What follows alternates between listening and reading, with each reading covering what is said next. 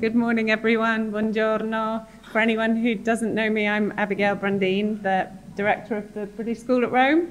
Um, just going to say a few words of welcome. Um, welcome to the 22 of you online. Thank you for waiting patiently. Sorry, um, it took us a, a, few minutes to get started.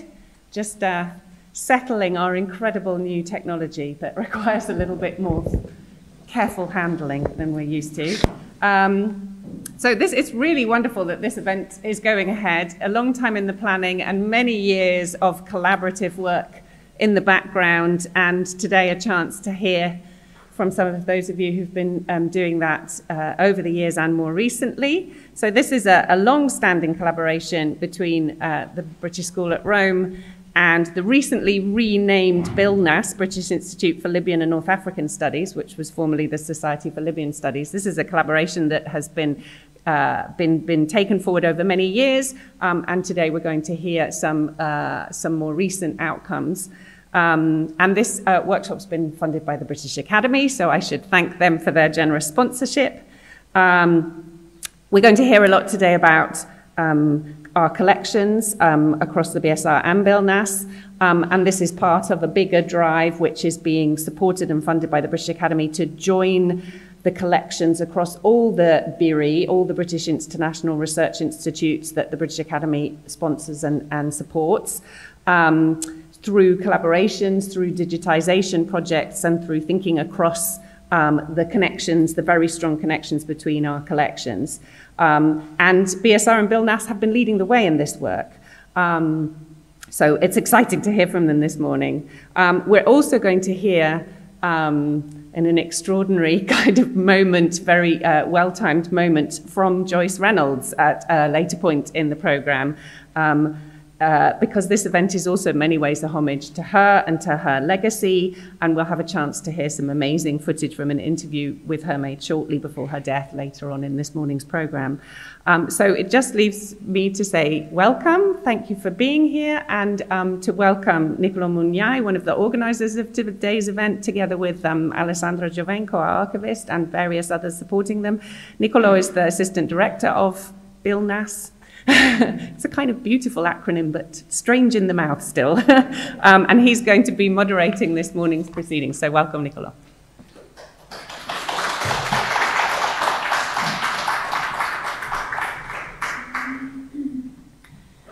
Thank you very much, Abby, for the kind introduction, and thanks to the BSR for hosting this event. It's great to be here in Rome uh, presenting this workshop, which as Abby said, is supposed to focus on these ongoing collaborations between the BSR and BILNAS within the broader framework of the BIRI consortium.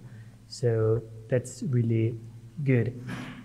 Um, so what we aim to do with this workshop is uh, to have a first session which looks more specifically at some of the work that has been done around the recent online re-edition of the inscriptions of Roman Tripolitania 2021. So we will have two talks uh, focusing on these topics.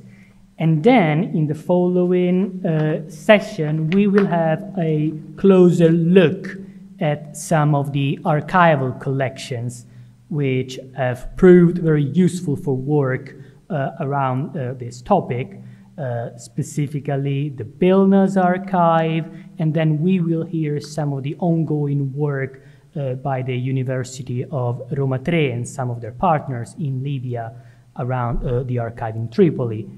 Uh, so I'm really looking forward to these presentations and also, and maybe even more importantly, to the discussion that I would like to try and encourage as much as possible with our live audience here in Rome, as well as the many people who are attending from remote. And please do ask questions and please do contribute to the discussion. And by using the usual Q&A function on Zoom that you should all be familiar with at this point after two years and more of pandemic. Um, so without further ado, I would uh, like to start uh, this workshop. So with the first presentation, uh, on the inscriptions of Roman Tripolitania, an exercise in collaboration. We will have uh, a live presentation here in Rome by Dr. Caroline Barron, who's an assistant professor in classics at Durham University and who has been doing much work on the digitization of uh, inscriptions and has been working on uh, Libyan inscriptions in particular. And she will be joined by uh, Charlotte Roueché from Remote, who's uh, BILNAS honorary archivist and uh, emerita from uh, KCL. And so I would like to welcome uh, Caroline and Charlotte uh, to give this talk about the inscriptions of Roman Tripolitania. Caroline,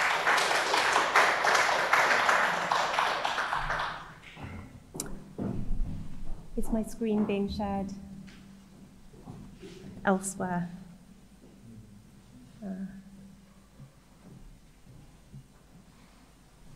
thank you. Thank you very much to the BSR for hosting uh, this workshop today and to uh, Nicola and BILNAS for the invitation. It's a pleasure to be here. I've been working on these inscriptions since 2008 when I joined Charlotte um, in the first digitisation of the 1952 edition. Um, and so they've been an ongoing and long-standing uh, research interest of mine, and it's a pleasure to be able to talk about them with you. Um, I'm going to talk for sort of 10 to 15 minutes, and then I'm going to hand over to Charlotte online, who will close our session.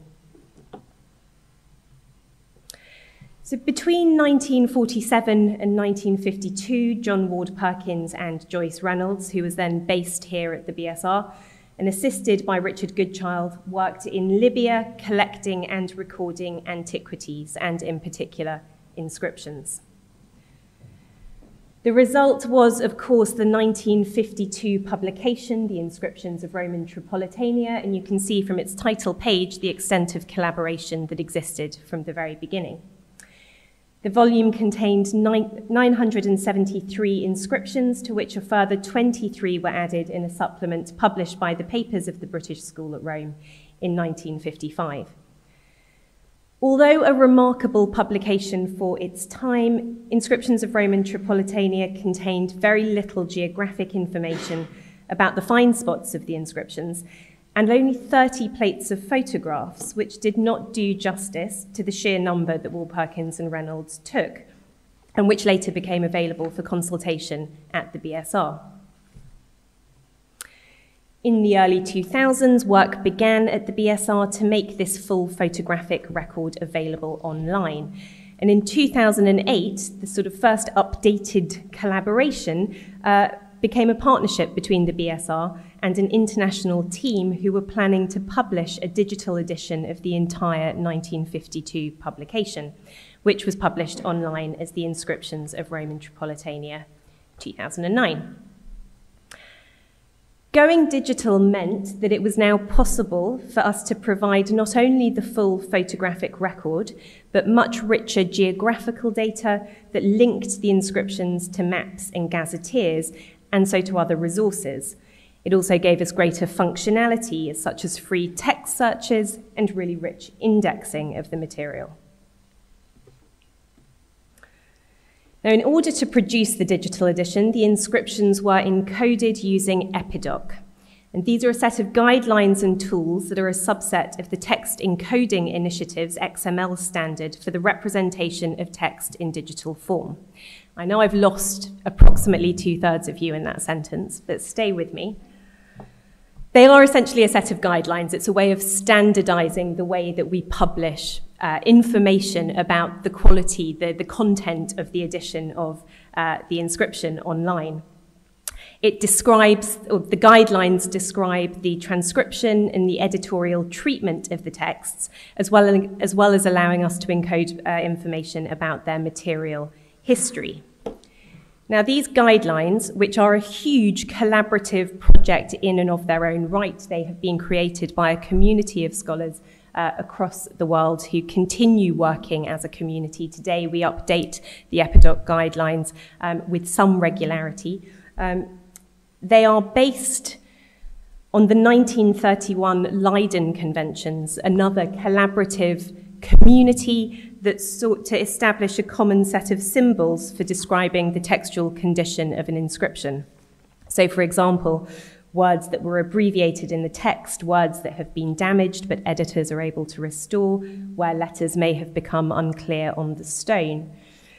Epidoc has been developed to do exactly the same for the publication of digital editions of ancient documents, particularly inscriptions, but also papyri. And this is how we went about preparing the inscriptions for digital publication in 2009. Once we had done this in 2009, all of our material was then exported into EDH, the Epigraphic Database Heidelberg, um, which was also published using Epidoc and where material that had been excavated or recorded in Tripolitania since the 1952 publication of IRT had also been added. And it started to become clear to us really quite quickly after the publication of IRT 2009 that the corpus was significantly bigger than our digitisation of the 1952 volume and that so much more was possible. So it's timeline of different uh, collaborations and involvements uh, as we reach uh, uh the 2021 publication. The possibility of doing more became possible in 2017. Another platform became available, EFES, or the Epidoc Front End Services, which is a delivery and browse search platform that can be set up and customized for individual Epidoc based projects. What's important about EFES is that it allows us to see the site as we're working on it. This wasn't possible in 2009. We were reliant on uh, the software uh, sort of performing as we hoped it would, but we couldn't see a finished product until the end. The EFES platform allows us to share the site as it's in development, which meant that we could actually share what we were doing with other collaborators and colleagues um, and solicit expertise from those who aren't necessarily literate in Epidoc itself, but who have crucial expertise on what the published edition looks or should look like. So, with the development of this platform, Charlotte was further inspired to republish and enhance our digital edition of IRT so that it might exist not just as a volume of inscriptions, but as a repository of all currently published Latin, Greek, and Neo Punic material from Tripolitania. And she received a grant for this in 2021 from the Society of Libyan Studies. By creating the new site using this EFES platform, we were able to share it in its pilot form with our colleagues, many of whom are in the room today, um, and to invite their contributions to how the site should develop. So essentially, all of the inscriptions in IRT 2021 have been published elsewhere previously by a range of expert scholars, but they've been assembled and curated here by Charlotte Roueché, and we've received contributions, guidance, and support from many other colleagues across the world. The result is a much, much larger corpus of inscriptions. We now have 1,651 published inscriptions, though we expect that there are more recently published texts that may have escaped us due to the pandemic, and which we will include in future digital editions um, of IRT. The site has vastly improved search functionality, largely due to a very rich system of indexing that allows our users to search by means of a much bigger range of categories. Now, one major addition to the corpus, uh, and this is my uh, personal mission, was the inclusion of the Neo Punic texts from the multilingual inscriptions from Tripolitania. So there's a series of bilingual and trilingual inscriptions in Tripolitania which record versions of the same Latin and or Greek text and Neo Punic. Uh, Neo-Punic is the spoken and written dialect of Punic that arose in Libya after the fall of Carthage in 146 BC. It's a phonetic script without vowel letters that differed from the earlier Punic language due to the dialectical changes that evolved as its use spread amongst the Berber people of North Africa following the Roman conquest. Uh, this is an example, IRT 318. You can, it's an octagonal monument that is inscribed in, on three sides, two sides in Latin, and then on the far left you can see there the Neo-Punic um, sort of cursive script uh, inscribed. Now, Joyce Reynolds and John Ward Perkins had not recorded the Neo Punic texts in the 1952 publication. They indicate where there are Neo Punic texts present in bilingual or multilingual inscriptions, but they didn't engage with them otherwise. Which is fair enough because very few scholars could engage with Neo Punic script at this point in the 1950s. The understanding of Neo Punic epigraphy was very much in its infancy. The 2009 edition of IRT was intended as a digital edition of the 1952 volume and the 1955 PBSR supplement. So the decision to not record the text of the Neo-Punic inscriptions there at the time seemed justified. But there was also a practical consideration. There is no Unicode script for Neo-Punic, so how we can represent the look of the script online. So it wasn't possible to represent it in its untransliterated form as per the, the stone.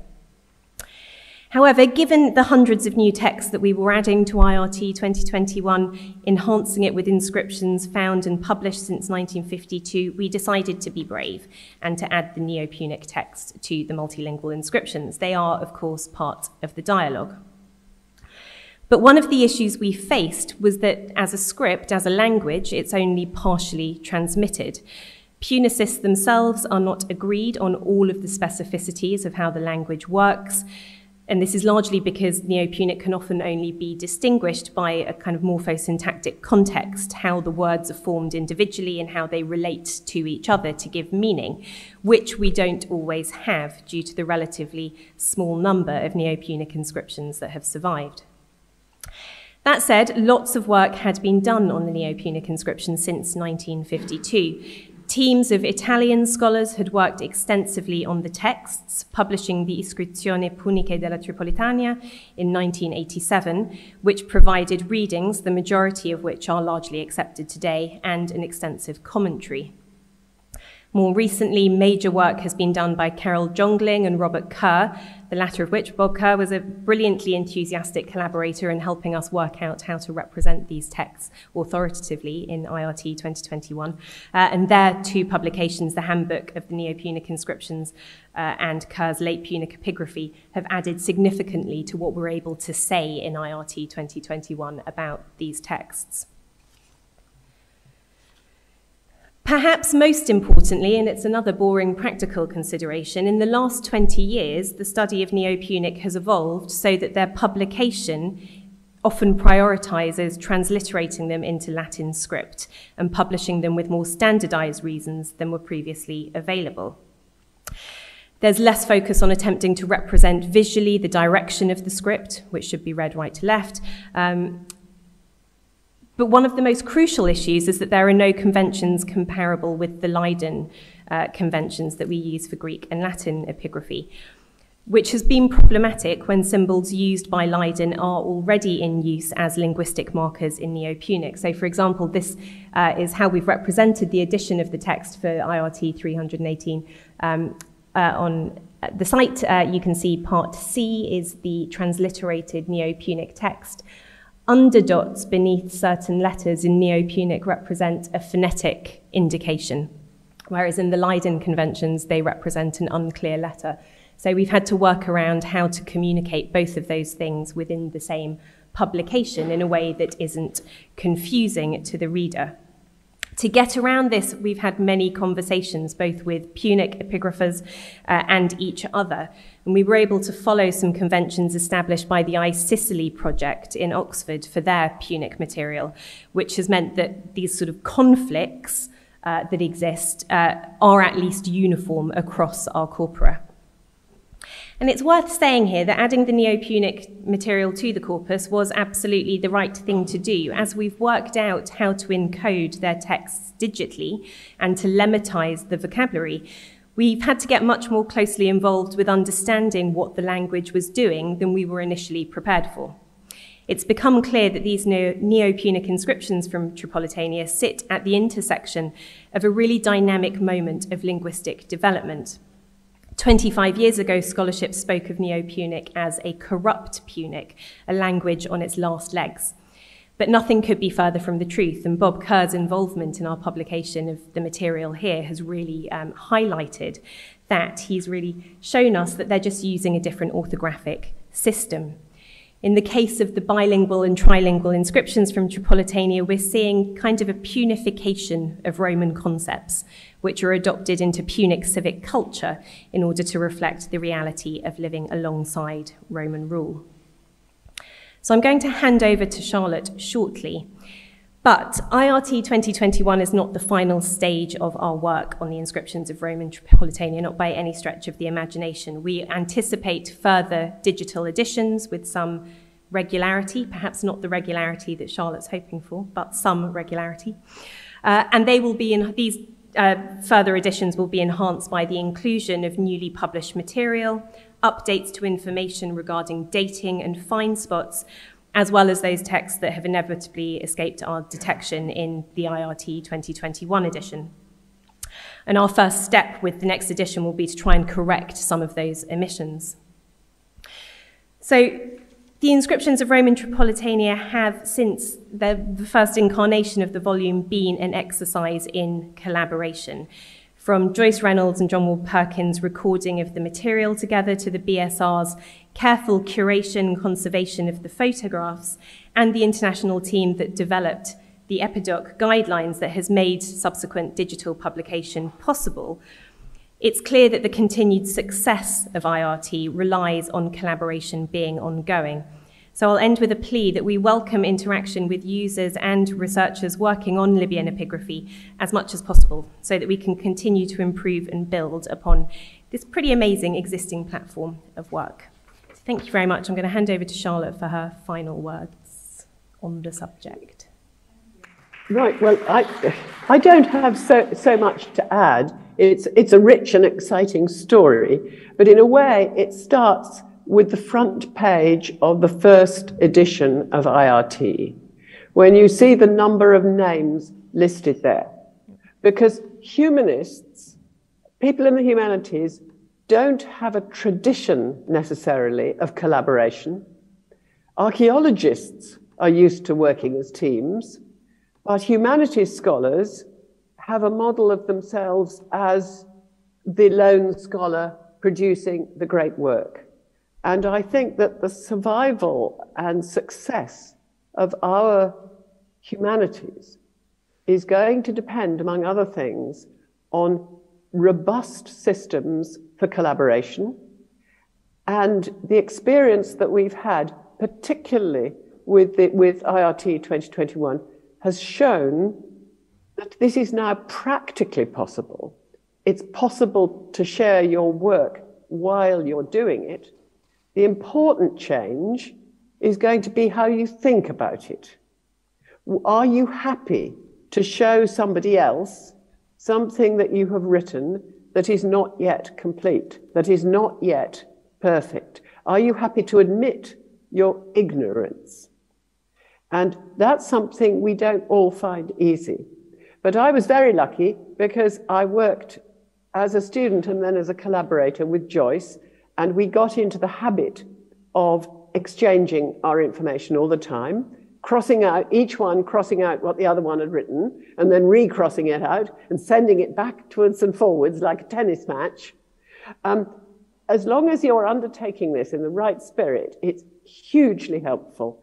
And I would like people to take away a sense of the value of collaboration. The person who is going to help you, you may not yet have met, but there's somebody out there who can explain that funny word in line five, if you can find that person. So I would say, and there's somebody in Libya who can tell you exactly where this find spot is.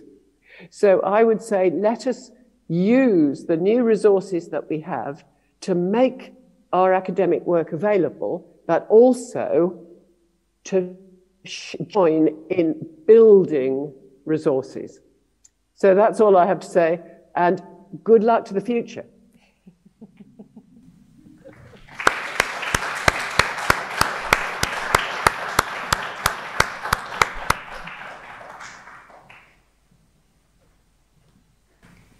So thank you very much, Caroline and Charlotte, for this comprehensive overview of the work around the inscriptions of Roman Tripolitania 2021. And now, uh, on a similar topic, I'd like to introduce the next talk, uh, From Paper to Digital, the Mechanics and Challenges of Modern Archiving, which is going to be a joint presentation by Alessandra Giovenco, who's the BSR archivist here in Rome. Um, Roberta Cascino is a research fellow of the BSR, and Francesca Bigi from the Sovrintendenza Capitolina ai Beni Culturali. So, Alessandra, please come here.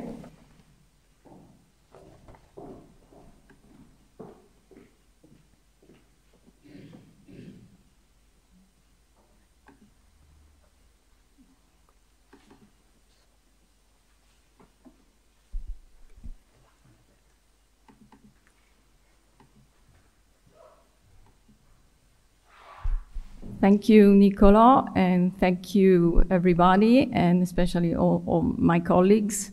And uh, I, want, I wish also to um, welcome um, Professor Rafael Muran, who is the newly appointed BSR Head of Research Collections. Um, there are several documents preserved in the BSR Administrative Archive that can help us visualize the circumstances in which the inscriptions of Roman Tripolitania project took place in the late 1940s. This is a passage of a letter sent by John Bryan Ward Perkins, director of the BSR, to Hugh Last, renowned professor of ancient history at Oxford University and chair of the BSR Faculty of Archaeology, History and Letters between 1946 and 1952. As you may have noticed, one of the main protagonists of this incredible enterprise is mentioned in the text, and it's Miss Joyce Maire Reynolds, who died little more than a month ago. We shall hear more about Reynolds' experience in her own voice later. So, getting ready for an expedition in North Africa would involve not only preparing first aid supplies for a long stay, but above all, caring for the provision of photographic materials deemed essential to the success of the enterprise. From the list on the left side, we may infer that the quantities of the negative film as well as photographic paper were quite large, and that photographs were chemically developed in loco. Probably the negatives were placed into an enlarger given that the people involved were using 35 millimeter film rolls. The information that emerges from the archival documentation finds evidence in the way photographs and negatives in the Ward Perkins collection are assembled and presented. As far as the inscriptions of Roman Tripolitania project is concerned, a crucial outcome of such a huge endeavor are the nearly 1,200 photographic silver gelatin prints glued onto 284 cards, which accompanied the 1952 publication. Neatly arranged according to the numbers assigned to each inscription, the photographs provide users with visual evidence of what is accurately described in the text. As noted there, the majority of the photographs were held by the Antiquities Department at that time, Soprintendenza alle, Antichità, e agli Scavi, and by the British School at Rome, respectively cited at, as SOPR and BSR. Whilst we are sure about the dates of the BSR photographs, taken between 1946 and 1953, and most of which have been inventoried by date eh, by a 35 millimeter stripe number, we know very little about the chronological references of the images belonging to the Antiquities Department. These might be dated even earlier.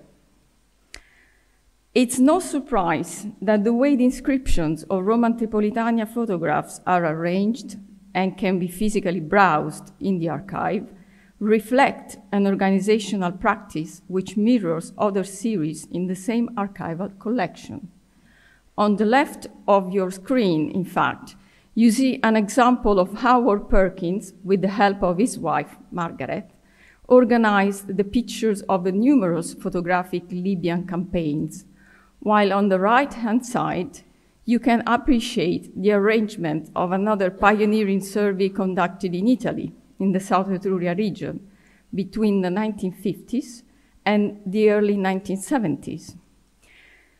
This family community-driven archival practice is one of the attributes that constitutes the visual identity of the BSR, at least for the period concerned with Ward Perkins' directorship.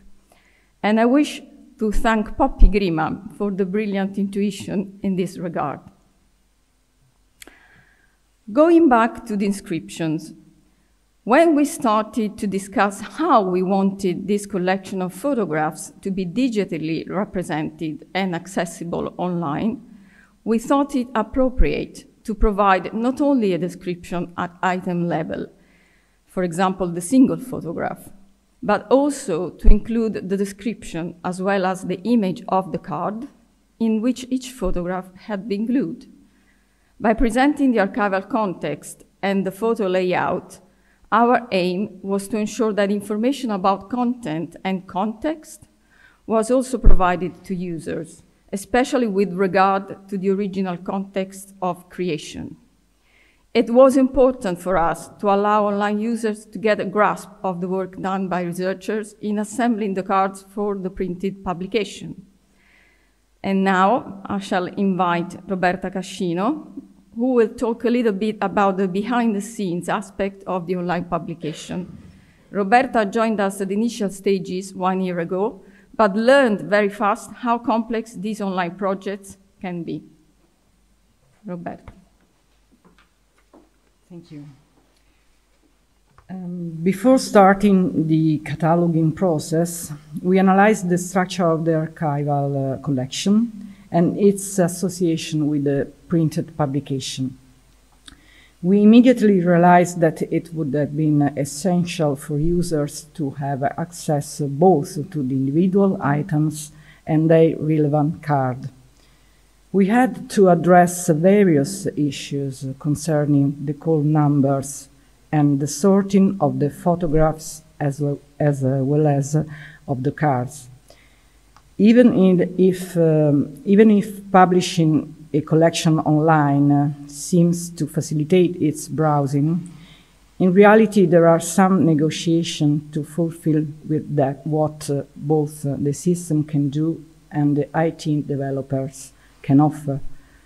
Sometimes, if you ask for a technical change in order better to display a given collection, this uh, automatically extends to other collections that may not need that particular change. As an archaeologist and a researcher, I had the opportunity to look at these resources from another perspective, and now I understand better the complex um, work archivists and librarians do and the amount of research required to produce high quality metadata, which must be consistent across other collections. There are so many considerations to bear in mind before starting such projects, and careful planning is necessary if one of the aims of the project is to make a collection interoperable and linked open data compliant. Thank you, Thank you, Roberta. This is a behind the scenes, and Roberta helped us hugely at the initial stages of this project. So we are very grateful to Roberta for her work. Um, by looking at various examples from this collection, there are some observations we can make about questions these photographs may arouse. In this card, for example, you may see the same subject depicted by two different photographers. That is the same subject but addressed and approached differently. We do not know exactly who took the photograph, but we have assumed it was Ward Perkins here. The juxtaposition of both photographs and the context in which they have been placed can give us some hint about the differences between two archival collections. The photograph from the BSR is on the left, and that of the Superintendenza delle Antichità is on the right. So, BSR archival practice is juxtaposed with another approach to organizing and presenting a collection of images of the same artifacts. In some cases, the photographs from the Superintendenza, as we said before, were presumably taken before 1946. And as far as the chronological sequence of the photographs belonging to the BSR is concerned, what we understand from this card is that the 35 millimeter stripes were numbered with an identifier, you may see here, made up of the year of the photographic campaign, 47, the number of the roll, usually expressed in Roman numerals, and the number of the shot in Arabic numerals. In this example, we can deduce that two shots were taken one after another and perhaps on the same day. With such information, we could map chronologically the research itineraries undertaken in the Libyan territory.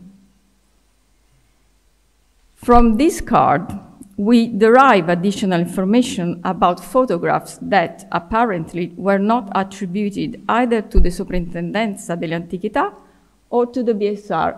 If you see here, there is um, uh, three letters, there are three letters, RGG, which stands for Richard Goodchild. So by cross-referencing the information on the card with the text in the publication, we were able to identify a date and another and add Richard Goodchild to the list of people who played an important role in this common endeavor and also who took photographs during the Libyan campaign. The reasoning behind the cataloging that I shared with you earlier has found its digital translation on the BSR Digital Collections website.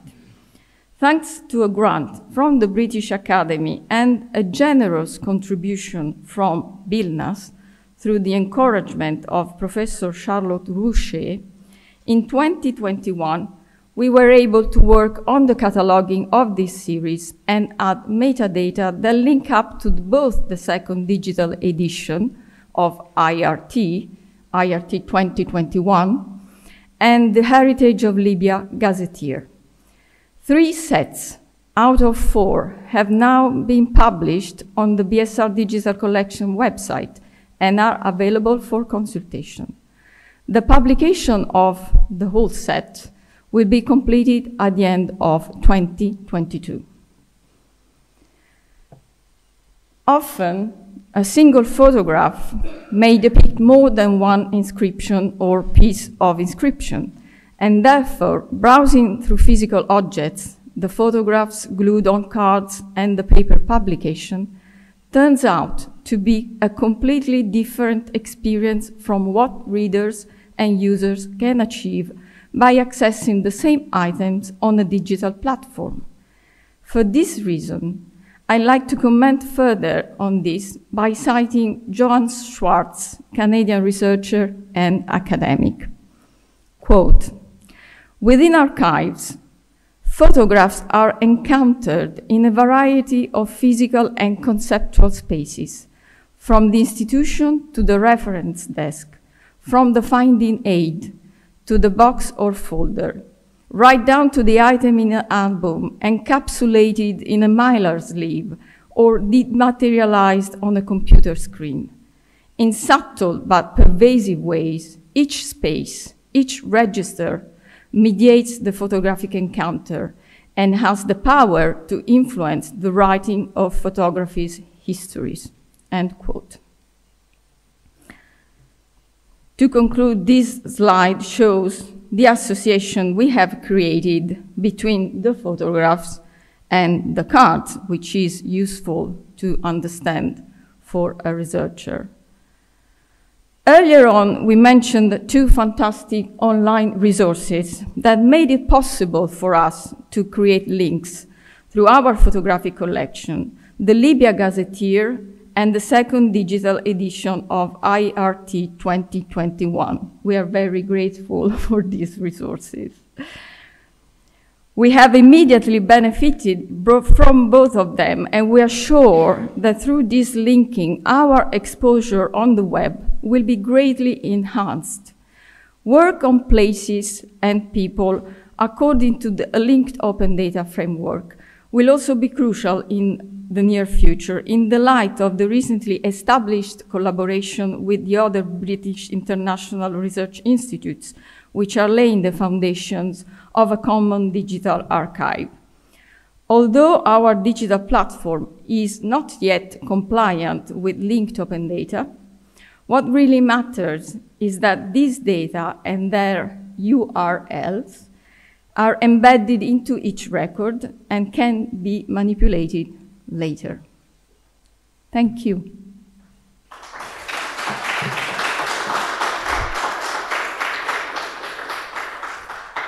Francesca.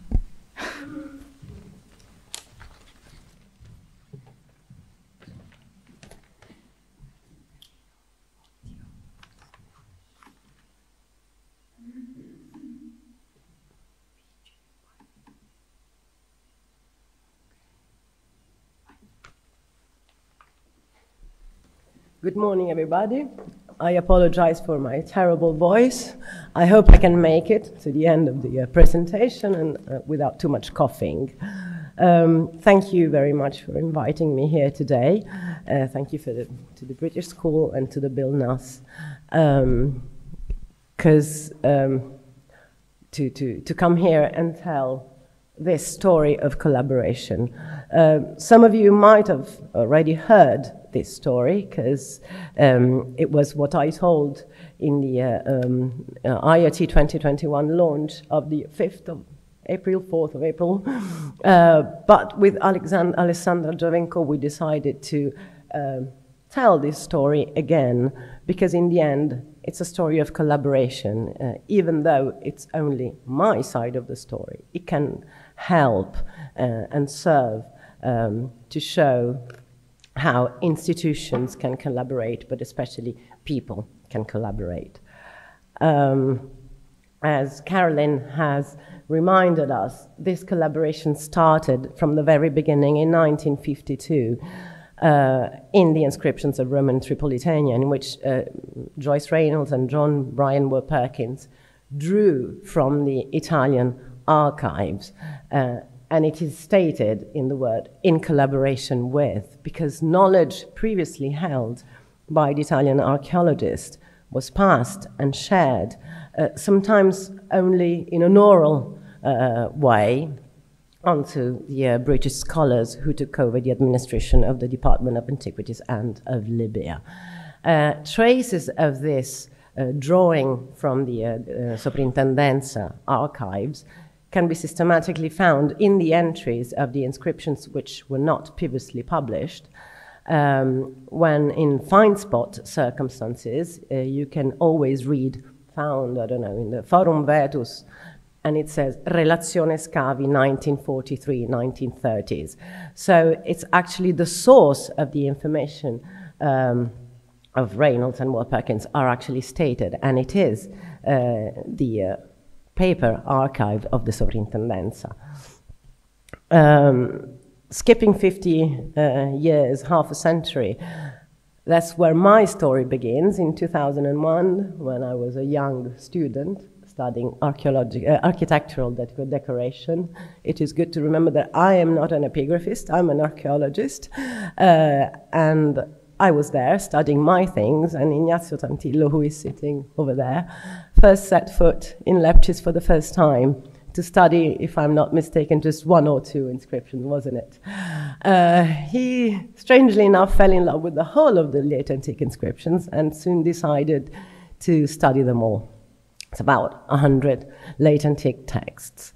Um, he realized that being the inscription constantly engraved on earlier reused supports, to give account only of the text would actually give only a partial picture uh, of this monument. And so we decided to join our competences, our fields of expertise, and I would look at the physical evidence, the story of the stone, and he would tell the story written on the stone.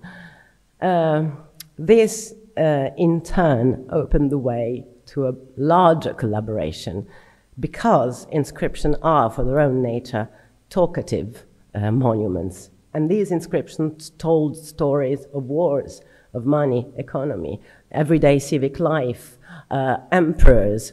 So it was uh, immediately uh, clear that we had to set these inscriptions within the broader picture. So the result was a book, uh, a work of collaboration of 10 people, in which the focus are 95 inscriptions, but the picture is expanded, and these ex uh, inscriptions are set within their topographical, archaeological, economical, historical, uh, artistical background in an attempt to embrace uh, all possible fields. The book opened the way to a new series of collaboration. First arrived in 2012 the last statue of antiquity project, which uh, for myself was an immensely uh, instructive experience because uh, if the uh, physical output is a database online and a paper publication, the behind the scenes was really thrilling because there was a real sharing of knowledge, of data, discussion uh, with the whole of the last statues of antiquity team. Um, and shortly after, uh, from 2013 to 2016, came the Eagle Project. Again, another largely collaborative project, um, which involved more than 10 uh, international institutions, universities, and academies like the British School. Uh, and the idea was to create uh, um, a large platform in which all inscriptions from different databases could be uh, reversed into it uh, and accessible to the wider public, not only to scholars, but to students, curious, men in the street.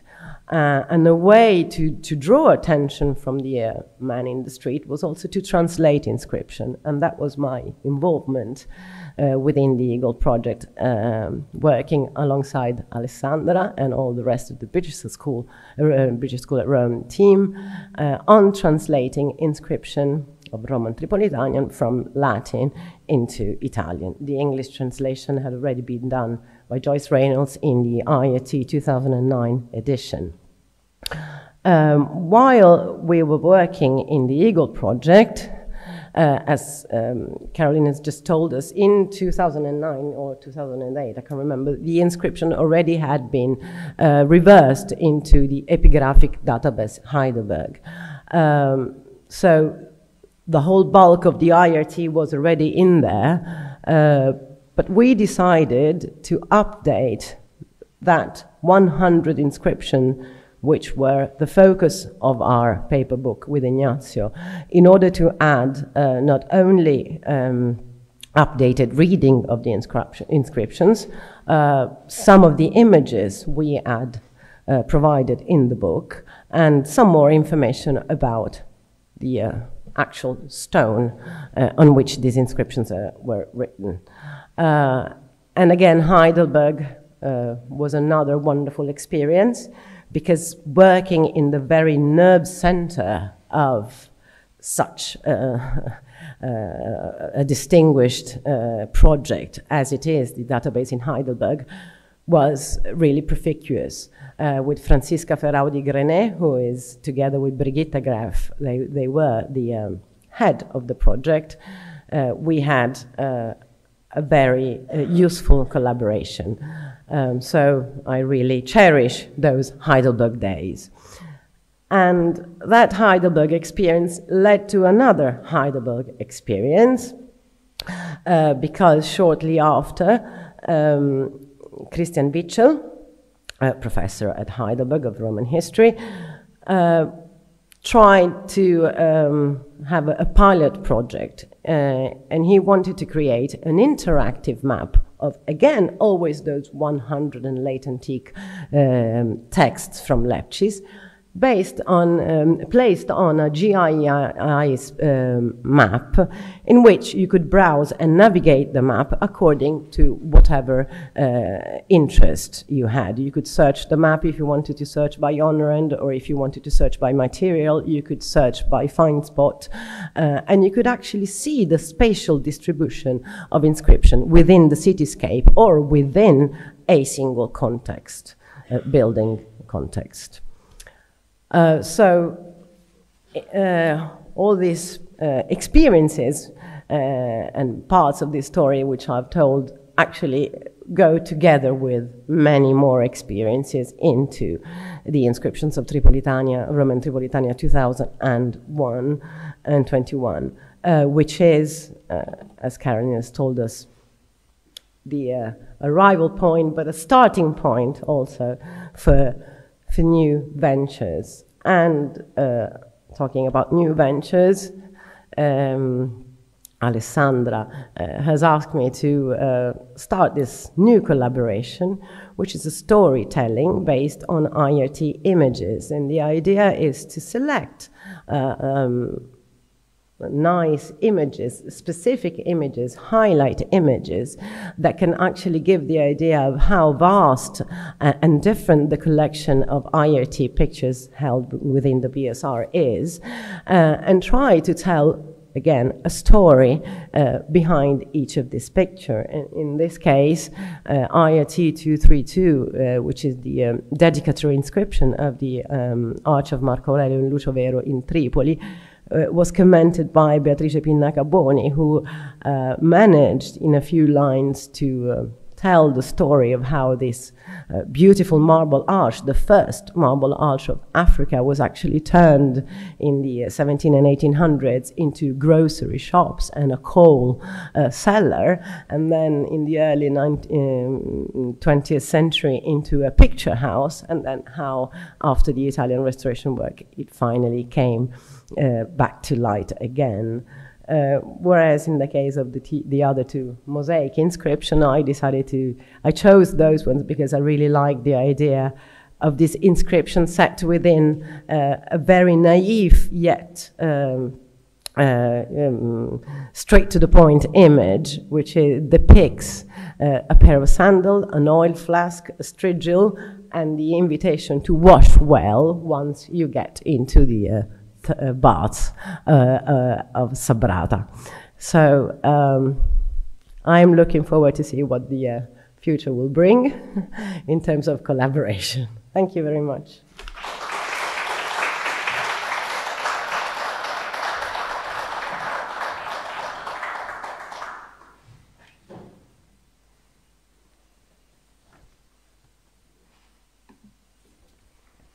Thank you very much. Caroline, Charlotte, Alessandra, Roberta, and Francesca for your presentations. Um, I think that the IRT project is really an excellent example to show the importance of these collaborations between institutions and universities. So there is plenty of food for thought here. Uh, we do have some time now for a discussion around these topics, so I invite questions from our live audience and the audience uh, from remote. If you have any questions, please.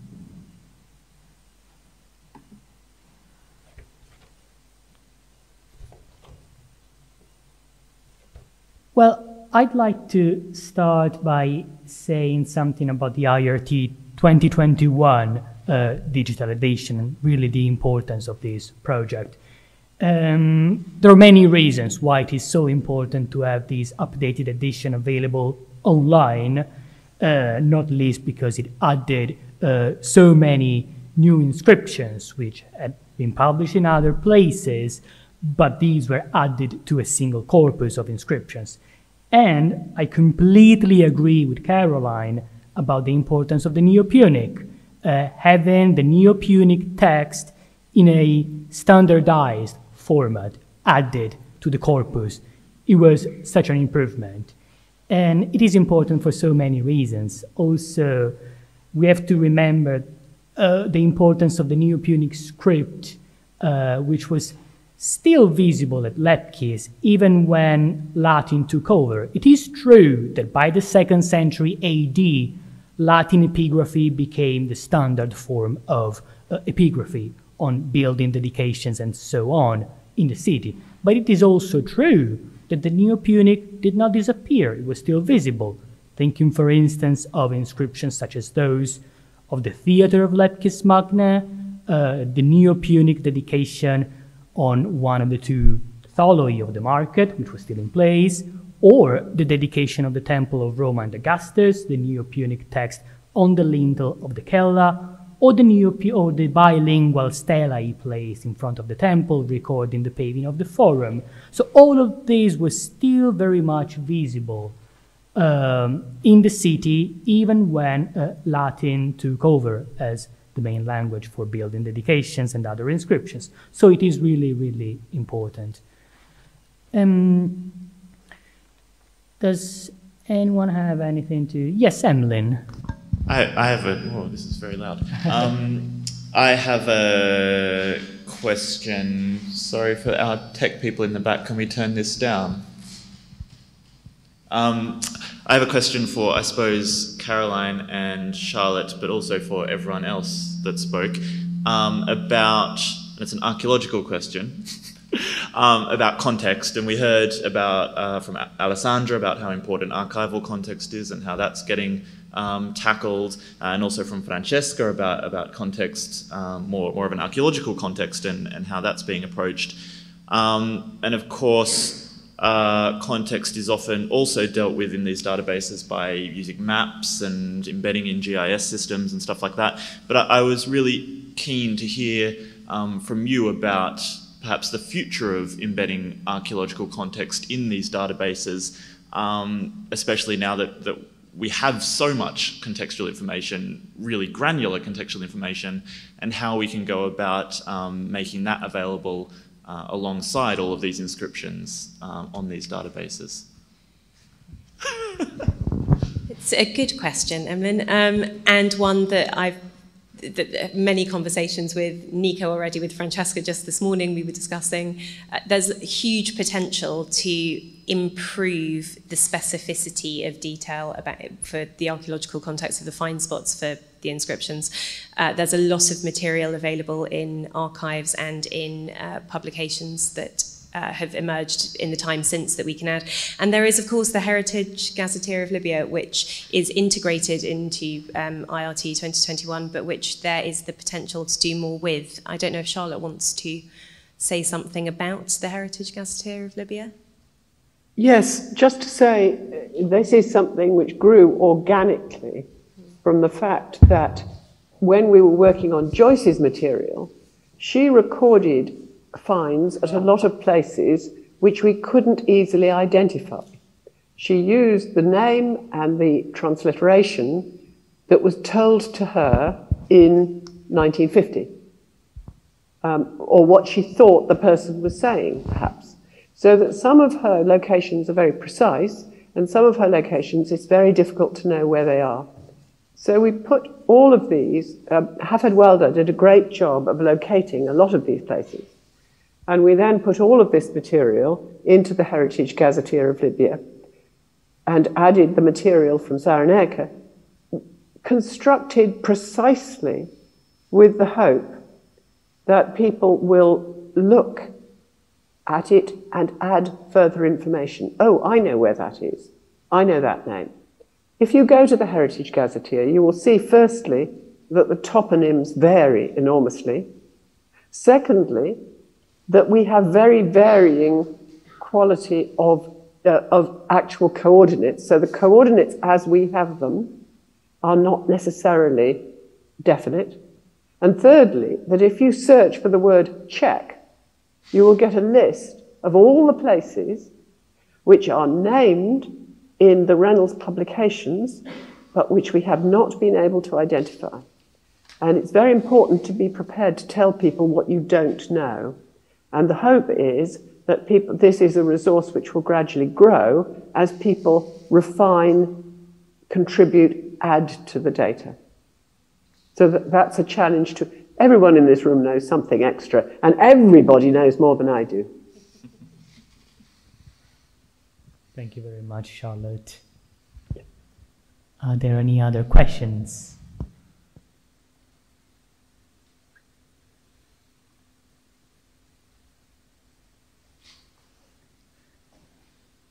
Well, I think it is really interesting to see uh, this relationship between the digital archive and the paper archive and all the work, the important work that has been done behind the scenes uh, with these archives and all the precious information that the study of these collections can reveal. So obviously I'm thinking of the BSR archive more specifically, but also um, other archives that can be used for these purposes. And I think it's important that we keep in mind that uh, this is an incredibly important uh, source of information. Uh, sometimes we've got plenty of materials still found in these archives that we need to investigate, and they can provide important information for the advancement of archaeology and other projects. I think Alessandra would like to say Yes, something about uh, that. Can you hear me? Can you hear Yes. me? Yes. Okay. Um, uh, when I um, during my presentation, I showed a couple of photographs, uh, the same shot of the same artifacts, and um, interestingly, we discussed that uh, with Francesca, and she told me uh, a story about um, this artifact, and I'd like Francesca to comment on that because it's um, it gives you another perspective um, from uh, the photographic collection point of view. um, Alessandra was talking, uh, actually, in the past, we had been talking about dating the, the uh, photographs of the uh, Department of Antiquities, so the, the non British photos, let, let's put it this way. Um, because we had clues and we suspected that they uh, depicted um, a situation of um, um, an, an earlier situation. Uh, while we were discussing the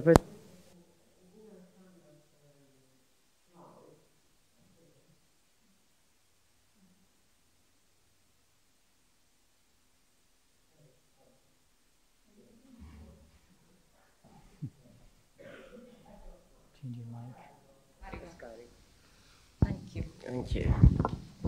Okay. Oh, yes. Um, in one of Alessandra's slides, there is uh, the uh, large lintel um, with the dedicatory inscription of the theatre. Uh, it's three copies of the same inscription, so there's plenty of pictures of that um, text. Uh, but one of them, I don't know if you can remember it, shows this block when it's still embedded in the earth. It's partly excavated, and there is a um, somebody trying to, to clear it from, from the sand and debris. And that image, uh, we are sure that it's, uh, it was shot definitely before the 1940s, because we know that in the years 1937, 1948, uh, Giacomo Caputo undertook um, the excavation and restoration of the theater. And that image is particularly uh, precious because it depicts that piece of inscription in its uh, original, no, not original, in its fine, stop, uh, fine spot, because it was reused in a portico behind the theatre in the later times. And then Caputo took it out and put it back in place uh, in the theatre where you can see it now and well. it was depicted in the later pictures. So we do have, if we cross reference archaeology uh, and Eccola qua. It's that image over there. Eccola avevi messo, sì. No, l'altra. This one. Eccola qua, sì. You can see it. It's still uh, partially uh, under the sand. Yes, the, the next one, yes. And there is somebody trying to clear it uh, from, the, from the sand to take it out. So that is uh, where the inscription was found, reused, and from where it was taken and then restored back in place. Uh, so we can, if we read through Giacomo Caputo's uh, diaries and publication, we can actually tell which year, in which year that picture was taken. So we can contribute to archive and archaeology in a, in a mutual way. Okay. That was just. Yes, absolutely. That's a very important point. So thank you very much for saying that.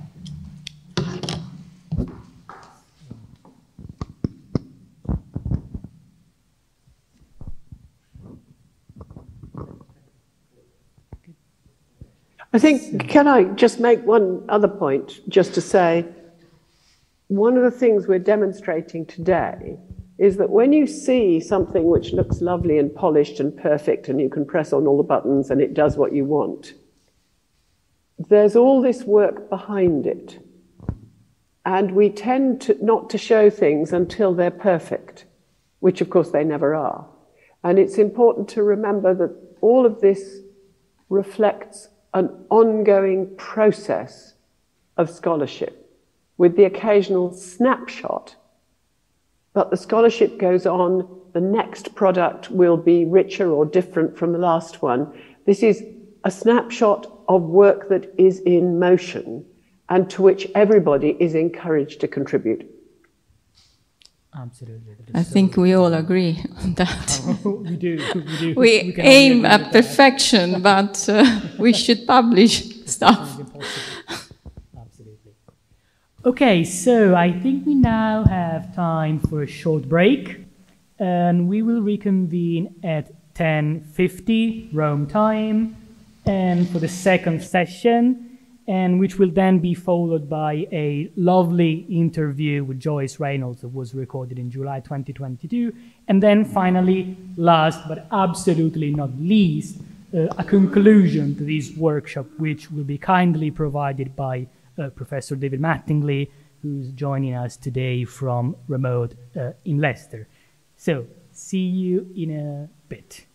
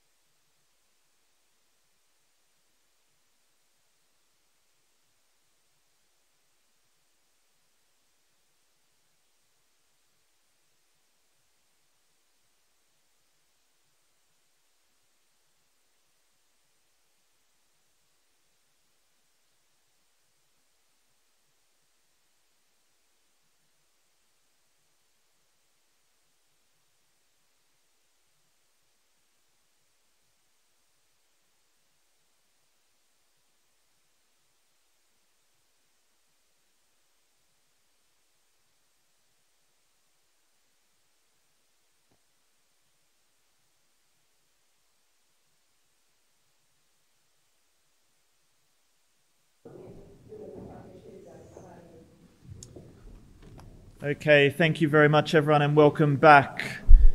We're just waiting for a few last people to trickle back into the room.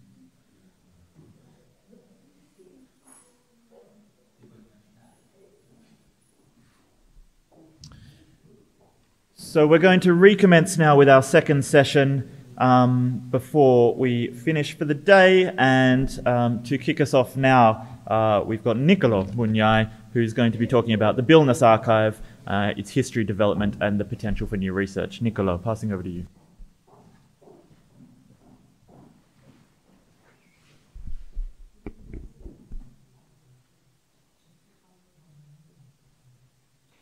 Thank you very much, Emmeline, and welcome back, everyone. So, what I'd like to do with my brief presentation is to give an overview of uh, the archive of Bilnas, uh, formerly known as the Society for Libyan Studies and now the British Institute for Libyan and Northern African Studies. Uh, talking a bit about the history of this archive, its development, and the potential for new research. I think it is important because while there are some archives, such as the Beazley archive, that are very well known and have been much used by scholars and researchers uh, on Libya and North Africa, perhaps the Bilnas archive is less known. And I'd like to show you something about the potential of this uh, resource to raise awareness of its existence. So, what is the Bilnas Archive? The Bilnas Archive is a collection of documents, drawings, maps, and photographs which were donated by individuals who uh, carried out archaeological research in Libya mainly from the 1940s onwards. And I'm talking of well-known people such as John Bryan Ward Perkins, Barri Jones, Olwen Brogan, Kathleen Kenyon, and many others. Uh, the Bilnas Archive, before it was known as the Bilnas Archive, was first established at the University of Newcastle in 1988, thanks to the initiative of a, a very important scholar, John Dore. Um, the archive is now housed at the University of Leicester thanks to the initiative of David Mattingly, uh, who kindly provided this new space in order to secure the long-term preservation of these resources and also to connect it together with the materials from uh, other projects led by David himself on Libya and North Africa more broadly. The composition of the Bilnas archive is essentially the result of the materials that were donated by the individuals who did the research in Libya, and also how these people selected the materials that they wanted to donate uh, to the Bilnas archive. And it's important to point out that further collections were donated in very recent years to Bilnas, and more are still now in the process of being added and catalogued uh, as part of the archive. Uh, if you're interested to learn a bit more about the history of the archive and some of the projects that were related to the use of these resources, I don't have the time to explain everything today, but I would suggest that you have a look at these two short publications uh, which appeared in Libyan Studies recently, uh, the Society for Libyan Studies archive, as it was still known at the time, past, present, and future, and then history, organization, recent and future development. So please have a look at this. So when the archive, the physical archive, was moved to the University of Leicester, uh, some priorities were identified of the work that needed to be done on these collections. In particular, I'm talking of the storage of these materials, the preservation, a full comprehensive cataloging in order to, of course, uh, enhance accessibility and also, last but not least, the development of uh, digitization plans. So these tasks were undertaken by professional archivists, and I'd very much like to thank Bilnas for the efforts in employing these archivists and also the important support that was provided by archive staff at Leicester. And so these archivists who did work with the BILNAS Archive, I'd like to mention Leanne Harrington, Sarah Wood, Jane Selleck, and our current BILNAS Archive, Felicity Crow, who is uh, joining us today from remote, from Leicester in her office. And I'd like to thank Felicity for the excellent work that she's doing with these collections right now.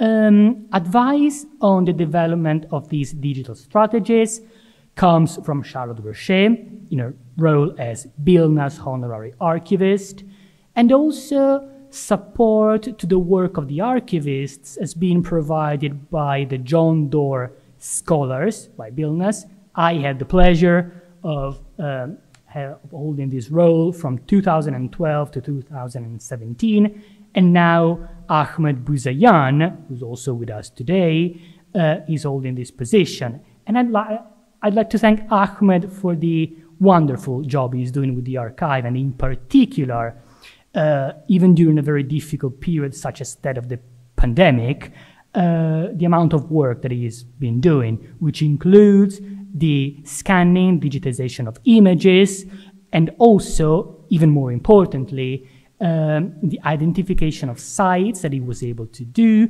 and adding the metadata to the scans of these images. So it's really, really important work.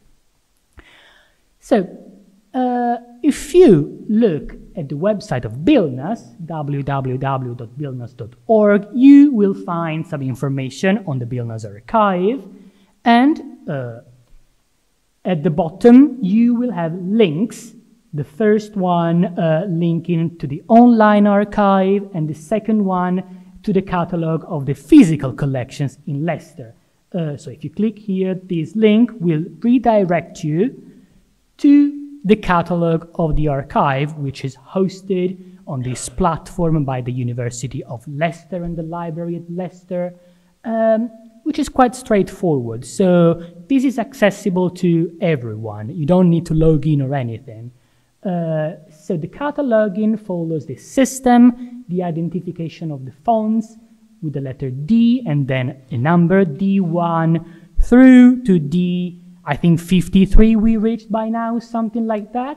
And then if you click on each font, then you will scroll down and have more detail about the hierarchy. So for instance, D5 here, uh, which is the papers of Kathleen Kenyon and John Ward Perkins, especially their excavations at Sabratha. You will then find the sub-fonts here. And then again, if you click on one of these individual uh, sub-fonts, you will find a description of the physical materials that are located at Leicester, and these will give you some information on uh, materials that might be of interest for your research. This as far as it concerns the physical archive. Now, it is also important that we, as BILNAS, are, are developing a digital strategy. So the link that you saw on the slide before to the online archive will redirect you to the Heritage Gazetteer of Libya, which was mentioned in some of the previous presentations.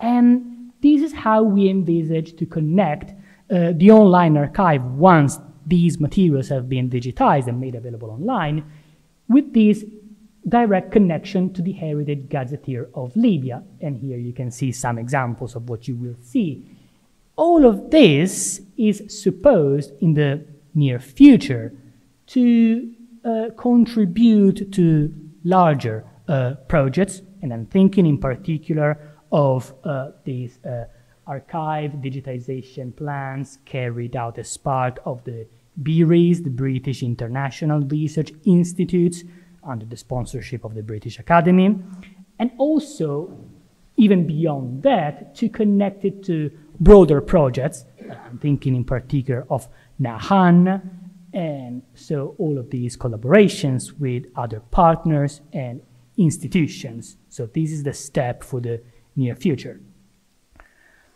So the BILNAS Archive and the Archaeological Heritage of Libya, uh, it's a record of the research done in this country, and the archive includes both published and unpublished materials Also important because these materials document the state of monuments before damage was done or threats to, local to the local archaeological heritage. Looking, for instance, at this one, this picture, which comes from the Charles Daniels Papers collection, showing the state of the excavated structures on the east side of the old Forum of Lepcis Magna and the state of those uh, ruins at the time. Um, so these collections encompass many aspects of these ex uh, um, expeditions to Libya, and these are not just useful for archaeological research, but they're also relevant to Libya's past and modern history, anthropology, ethnography, geography, literature, among many other subjects. And indeed, it's not just uh, the archaeological aspect that we'd like to emphasize, but also how these materials can be used for broader studies. Uh, for instance, if you take a look at some of these shots that were taken at the time of the excavations of the Forum of Sabratha, they do provide information, of course, about the excavations, and these have obviously been used for publications already, but they also reveal a lot of interesting information about the rest of the work that was done during uh, these excavations and um, so the dynamics, so for instance, uh, photographs of archaeologists and local workers during the excavations and the study of the materials. So they have an interesting story to tell which goes beyond uh, the mere archaeological investigation. And same, for instance, with materials taken from the Olwen Brogan collection, how wonderful, how incredible it was uh, back in the 1960s for someone like Olwen Brogan to travel across the pre-desert of Tripolitania and everything that was involved in those expeditions. And then also speaking from the Bilnas perspective, the archive also includes materials about uh, the origins of Bilnas. So, for instance, documents related to the foundation of what was known back in 1969 as the Libya Exploration Society. So, just to give you some examples. So, many of these materials have already been used for publication purposes in the past, together with the use of collections from other institutions, and obviously, uh, in particular, I'm thinking of the BSR archives, so no need to mention uh, studies such as Girza Libyan settlement in the Roman period, the excavations at Sabratha, or the Severan buildings of Lepcis Magna. All of these crucial publications that we all, we all know about made use of these materials. Um, so we'd really like to encourage uh, UK and international scholars, especially scholars for Libya, to make use of these resources. And a series of recent projects have much benefited from access of these materials in order to complement data sets of information that were collected during archaeological fieldwork in Libya. So I can uh, point out the series of the archaeology of Fazzan volumes, by David Mattingly, so which combine uh, David's uh, archaeological fieldwork down in Fazzan, together with fieldwork which was done previously by Charles Daniels. And so this really shows how important it is to combine different sources of information. So the materials that we recover during excavations together with the materials that have been left in archival collections. And then again, materials from the Bilnas archives were used, for instance, by uh, recent uh, uh, by scholars who did their PhD research at Leicester, for example. I'm thinking in particular of my friend and colleague Julia Nikolaus, who did this very important study of the uh, ornamentation of mausolea in the pre-desert, uh, which uh, made use of these resources. And you have, if you're interested, she published one paper here, Beyond Girza, Roman period mausolea in Tripolitania, in these volumes that we co-edited together, the Africa Romaque, emerging cultures across North Africa. Uh, the Bilnas archive was also important for developing a series of workshops, in particular two workshops uh, held at the British Academy in London and the New Walk Museum uh, in Leicester, about the importance of Libyan antiquities and the threats to the uh, archaeological and cultural heritage of Libya uh, in very recent times. And so these materials were really useful to start uh, a conversation among uh, stakeholders from different institutions. And uh, you see here lots of names of the people who contributed to the workshops and also to the essays and the proceedings, which were collected in Libyan Studies 48 um, around this topic. So anyone who's interested can have a look at, at this and see the work that has been done, not just with the Bilnas archive, but other work. And I'm thinking of important projects such as the EAMENA project, the endangered, endangered archaeology of the Middle East and North Africa, just to cite one example. And a very recent example of a publication that came out uh, very recently in 2021, uh, this book by Nichole Sheldrick, Building the Countryside, Rural Architecture and Settlement in Tripolitania during the Roman and Late Antique periods. It's a study that brings together data on over 2,000 rural structures from Tripolitania, ranging in date from the 1st century BC through to the 7th century AD. And it represents a synthesis and re examination of both published and archival data, in particular, the data collected during the UNESCO Libyan Valleys survey, together with new investigation through the use of remote surveys and the use of satellite imagery. And this is really important because it shows how these collections can contribute to broader studies, and in particular, the ULVS collections are currently being added to the existing collections of the Bilnas archive. So this is very much a work in progress.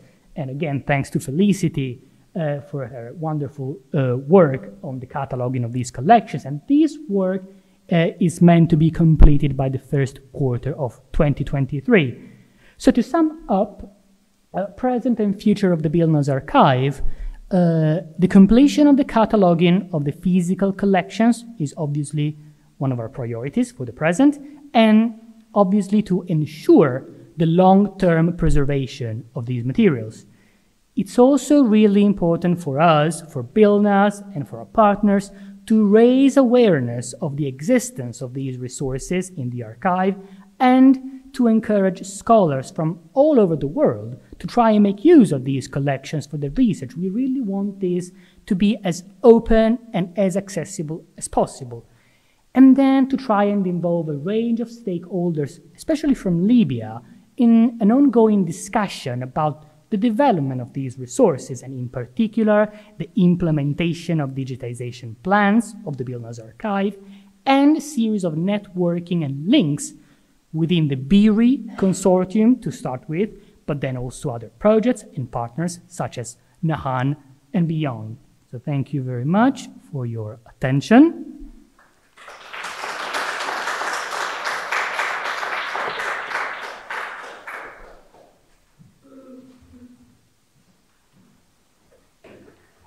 And now uh, I'd like to move to the next presentation, uh, which will be delivered by Dr. Andrea Zocchi from the University of Roma Tre team that needs no introduction for the importance of the work that they have been doing uh, in Libya uh, from an archaeological perspective. So this talk today uh, is titled A Collaborative Project reorganization, cataloging, and study of the architectural drawings of the Maps and Drawings Office of the Department of Antiquities of Libya, Tripoli, state of the research and potential for interaction with other archives and institutions. So please, Andrea, tell us everything about this.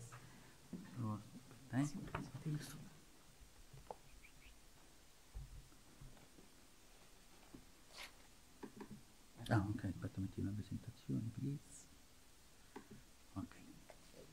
Oh, questo però è la... non è la slide. Sì, aspetta, come si va? Sì. Ecco qua. Ok, grazie.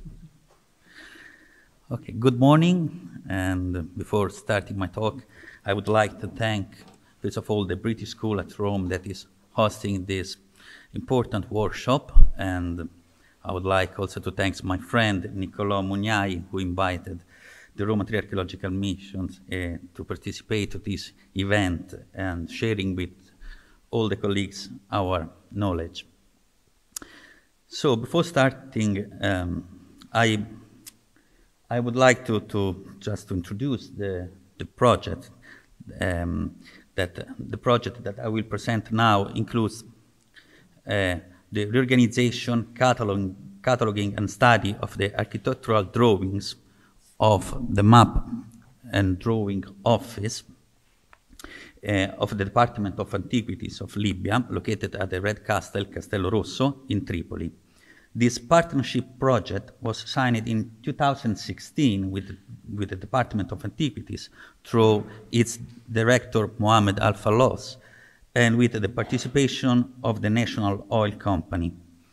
The editors of this project are Professor Luisa Musso, Ferial Sherfeddin, responsible of uh, the technical department and head of the cartographic office, and Mohamed Al Fallos. Many professionals participate. From the Doha, uh, Ferial Sherfeddin, Fatma Bagni, and Susar Aburgara, and from uh, University of Roma Tre Meda Foundation, Mattias Bruno, Fabio Scirè, Fulvia Bianchi, Niccolò Masturzo, and myself. Uh, we are currently trying, with many efforts, to collaborate and eventually integrate our data with the Macerata University Archive, that is il centro di documentazione e ricerca sull'archeologia dell'Africa settentrionale Antonino di Vita. Since a good percentage of drawings preserved at the Castello Rosso drawing office are copies, and the originals are often stored at the Macerata archives. The main task of the project are the reorganization and the physical rearrangement of the cartographic and drawings archive, facing first of all issues related to the, to, to the management and preservation of the documents. That means protect and at the same time make accessible the archive. For this purpose, a restoration office financed by a National Oil Company, Company has been created. But why talking of the project in this workshop? Essentially for two reasons. The first is to sh showing the importance, the consistency, and the potential of the documentation stored at the Maps and Drawing Office. And second, the added value of these documents, above all, if related with the documentation of other archives, the BSR archives and the BILNAS archive.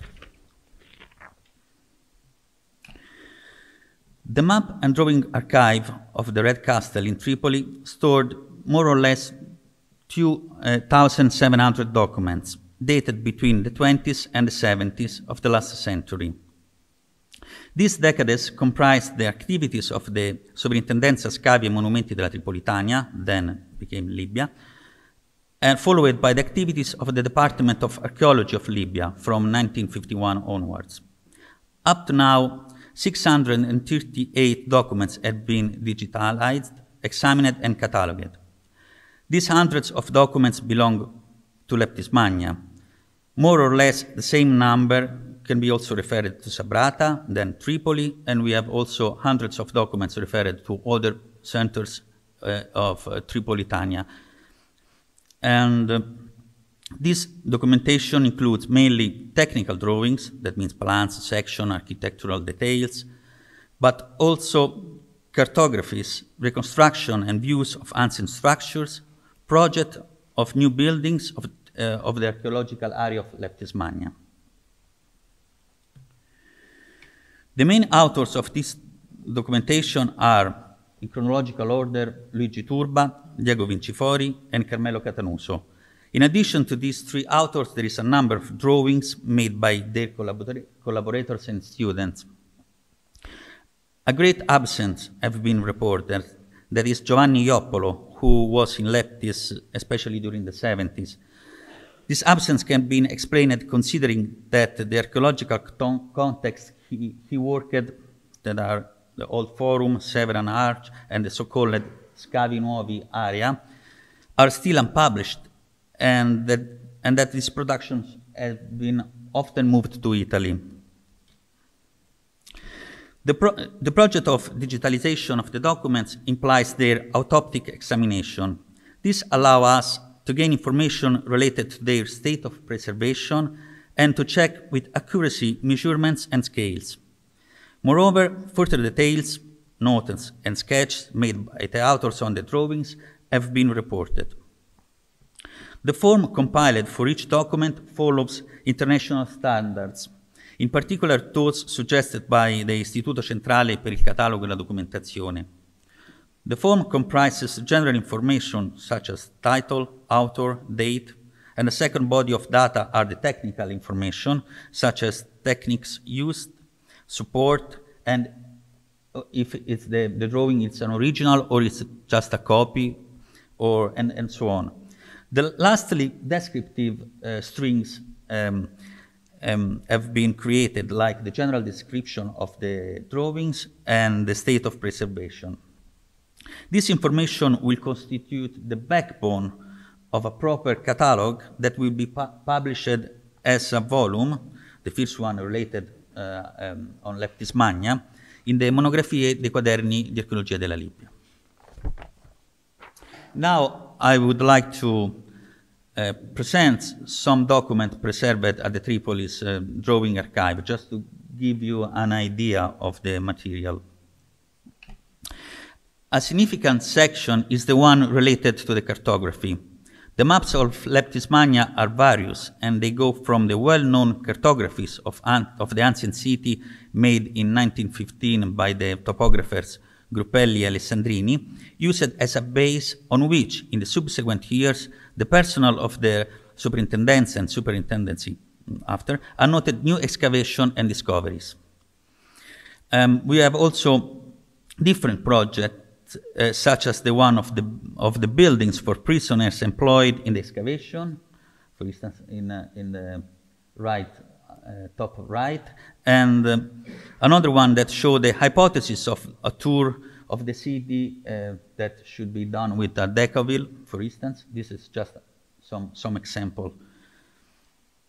Other unpublished maps are preserved at the drawing archives. For instance, a map dated at the end of 1946 showing the division of Regiones and Insulae of Leptis, and another one in which are comprises the excavation undertaken by Renato Bartoccini in the Severan Harbor and partially along the Via Colonnata. This is just one of, uh, uh, of these maps. Among all the Leptis Magna drawing preserved at the archive, the theater constitutes one of the most representative monumental contexts. The excavation of these buildings began during the 30s under the supervision of Giacomo Guidi and continued with Giacomo Caputo until 1951. Diego Vincifori was the first author to realize a series of drawings, followed by those realized between the 40s and the 50s by Carmelo Catanuso. The majority of these drawings have been published by Caputo in, the late, in a late publication in, dated 1987, edited by Antonino Di Vita. However, the whole collection, including numerous unpublished documents, are preserved, are preserved in the Tripolis archives. The case of the, the theater is real clear in showing the difference of the two main designers who worked for the superintendency between the late 20s and the late 40s. There are Diego Vincifori and Carmelo Catanuso.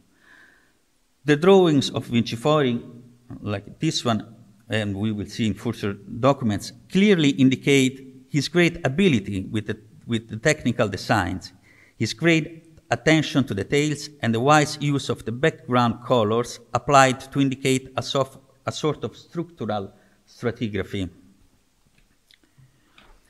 The production of uh, Carmelo Catanuso shows his more realistic, um, artistic hand in, in a way, probably less accurate to present details and measurements compared to Vincifori, but with a higher visual impact due to his heavier hand and due to the use of background colors, marked sometimes even to different, differentiate the soil and, and the ground.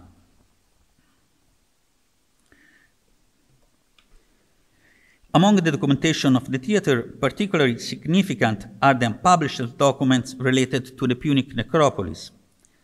Here there is a very interesting cross section of the tombs found beneath the stage. There are mm, dozens of these, these uh, um, plans and sections that have been not published. Another area that I would like to take as an example is the old forum. In this case, the amount of documents is not very high. However, some of them are very interesting, like this plan dated 1935, made by Virgilio Franceschi. In the drawing were written in pencil some letters to indicate the hypothesis of the function dedication of some buildings. These letters were subsequently partially corrected with new notes written this time in red and blue. This correction cannot be dated with accuracy, but for instance, the Basilica Vetus was not still identified and generically, and generically named with, the, with Atrio. Other documents related to the Old Forum and the Basilica Vetus in particular are stratigraphic section and plans made by the late 40s, uh, made in the late 40s by Carmelo Catanuso in collaboration this time with the, with the English uh, archaeologists. A further significant monumental complex deeply studied and drawn is the Severan complex. In the Tripoli archives is stored the majority of the drawings related to, Severan, to the Severan Forum and to Basilica, produced between the 20s and the 40s. There are several plans. The first one is the one made by Luigi Turba, followed by the one realized ten, more or less 10 years later by Diego Vincifori surely more detailed and which highlighted the structure still standing and the ones built in the late antique period. Vincifori focuses also on the architectural details of the buildings. This is just an example, showing again his great ability in the technical drawing and his accuracy in the measurements. The colonnaded street and the Great Nymphaeum were excavated since the mid-20s and lasted for all the Italian colonial period. Also in this case, plans and prospectuses and architectural details were made. I would like, in this case, just to show you as an example, a plan made always by Diego Vincifori during the 30s, showing beside the several buildings all the late antique and subsequent structures that were removed by the excavations these particular documents, this is not the only one, it's just an example, are fundamental to better understand those phases of the city that can be hardly known in other way and that are often unpublished. For instance, in the, this late structure are not reported in the Ward Perkins design collected by, by Robert Cronenberg in the, in the book Severan Buildings of Leptis Magna. The main basilica has even more documents. During the first period of extens extensive excavations were produced interesting drawings of the monuments. Beside the detailed prospectuses and a plan made by Luigi Turba, there are several designs made by the engineer Renato Gherardi, at that time a valid field collaborator of, of Renato Bartoccini.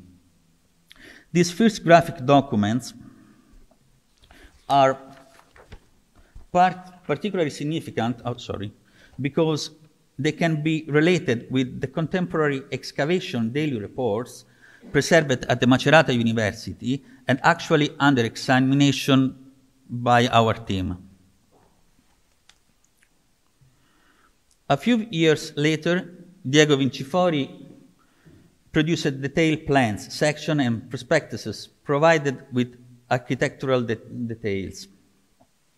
His great attention in offering the reader all the information and as much details as possible is clearly visible in the sketch of the plan of the baptistery of the main basilica here.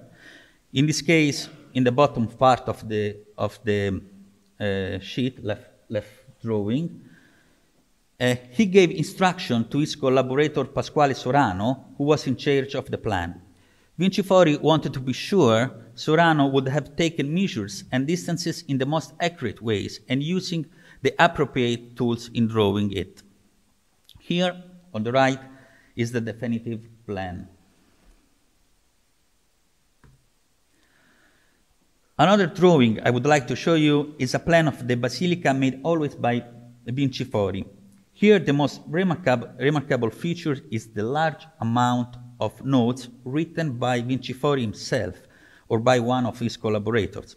Documents like this one are a precious source of information to reconstruct the work made on the field and the thoughts of the archaeologists, architects that works there in those years.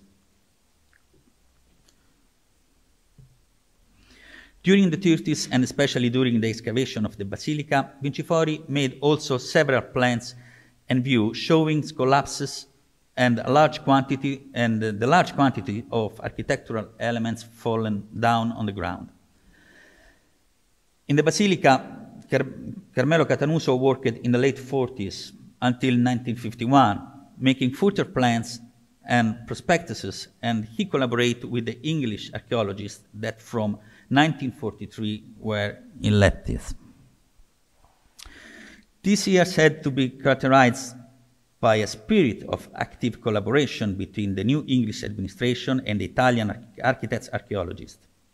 In the introduction of the book, um, in the milestone book, The Severan Building of Leptis Magna, um, uh, by Ward Perkins, Philip Kenrick wrote, where possible, he, Ward Perkins, encouraged the previous Italian excavators to complete the projects they had undertaken and acknowledgement made to him in various subsequent publications suggests that this collaboration was accompanied by real work and was not just formal. But most extensive excavation had been carried out by the late Guidi, and here was a real problem resulting from the severe paucity of any kind of record. In this circumstance, a crucial source of information lay in the architectural drawings prepared over the years by Diego Vincifori and by Carmelo Catanuso, who went to assist Ward Perkins directly.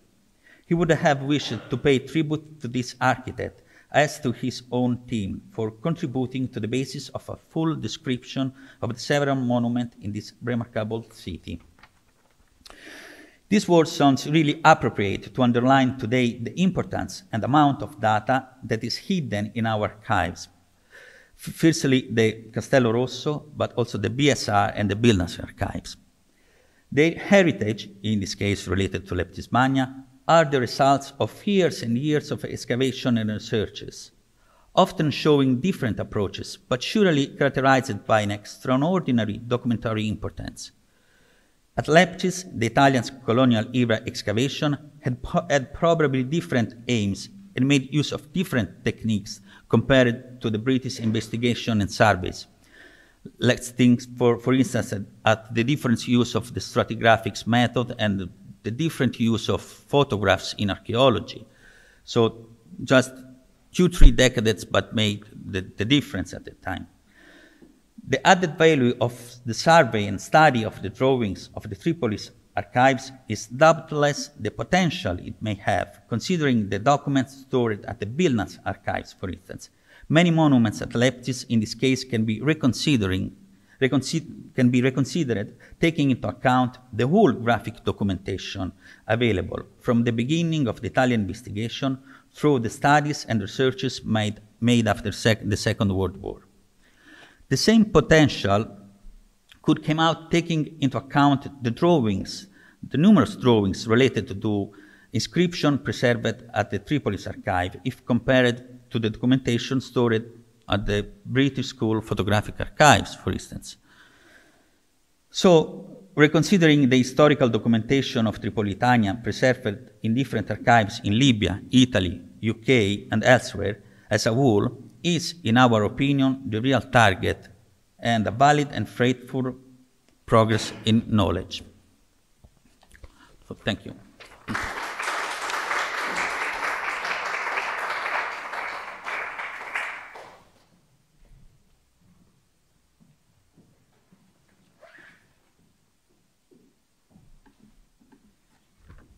Thank you very much to Andrea for his presentation to myself for mine. Um, right, so now we have time for some discussion around these topics uh, dealing with the importance of archives and how they can complement uh, information from archaeological fieldwork in Libya. So if there are any questions or comments by the audience, in person or, or remote, please, the floor is open. Lisa, yes. Do we have a microphone for Lisa? I want to thank Nicolo for the shout out for Nahan and elaborate uh, a minute. But I also want to thank Andrea for this extraordinary project. It's so great, and those pictures are so wonderful. The Dinamica del Crollo is something that, you know, I won't forget. Um, so Nahan is a project that started in 2015, um, and both BILNAS and the BSR are signatories, the, among the original signatories to it.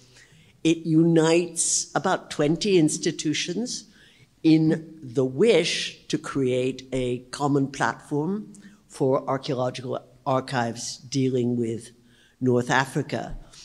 It went through a long period of stasis while the DAI did not produce the platform. And then it moved to the École Nationale Supérieure in Paris, where it is actually underway and people are working. We have things like a new homepage and this sort of thing. So I'm hoping that in the late spring, we'll have a major meeting again to refound the project with an actual platform for, um, for archives of all sorts. I wondered about the project of the Tre. Um, have you got plans to put them online?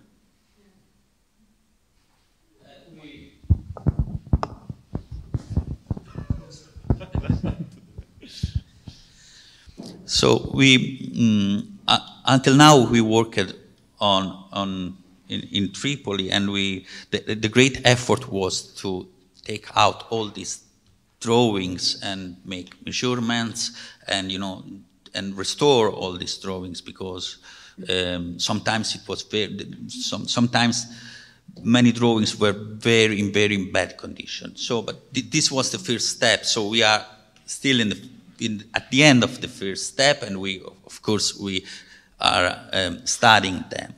Of course, um, the next steps will be to make accessible all this documentation, and uh, one way is the, um, to, to, publish uh, a catalog, and we are thinking also to put on online all this documentation. But I, I, cannot, I mean, we are working on, on, on, on this, so there is no, um, um, it, it, will be not done in, in, the, in the next future, but we are thinking about, because we'll, we'll be, of course, we, it's the future, so we, we, we have to, to find a way, but we are working with the, with the department on, on, of antiquities on, on this.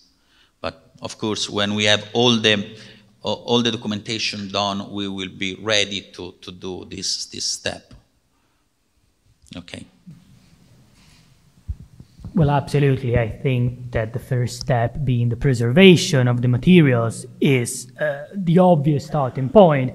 And it's also something that we had to deal with the BILNAS archive when the collections were moved from Newcastle to Leicester uh, to restore some of these materials, provide uh, proper archival storage for them. So that is really the first step. Uh, and then that eventually, hopefully, will lead to uh, um, an enhanced accessibility and hopefully uh, an online accessibility as well. And I'd like to thank Lisa for the update on Nahan and what, what's going on uh, with the project at the moment. So we are really looking forward uh, to the next step. And please, Lisa, do keep us posted on this. It is really important. I think Alessandra would like to say something.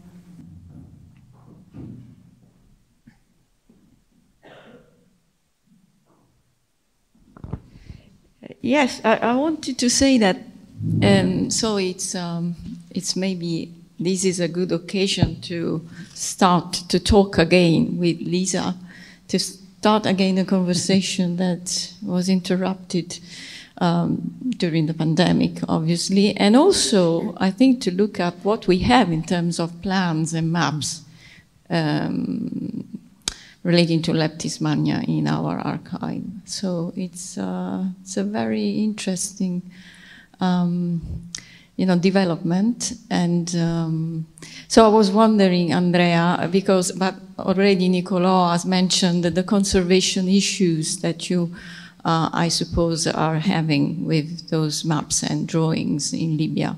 Um, do you have any plans, or are you in contact with conservators or people that can help you um, setting up a plan with, about conservation of uh, those beautiful drawings and maps?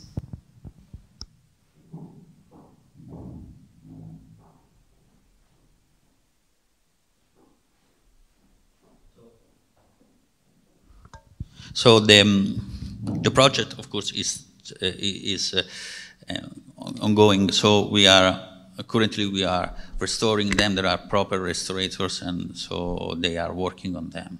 So sometimes it was also hard to open them. So in, you can imagine that, that the, the, there are different stage of preservation. So, so, um, so we are, we are working on, on, they are working, currently they are working on restore them. Of course, pandemic, the unstable situation, you know, eh, in Libya. So eh, there are some difficulties in those years, have been some difficulties, but we, we are we are keep we are going on. We are keep going on.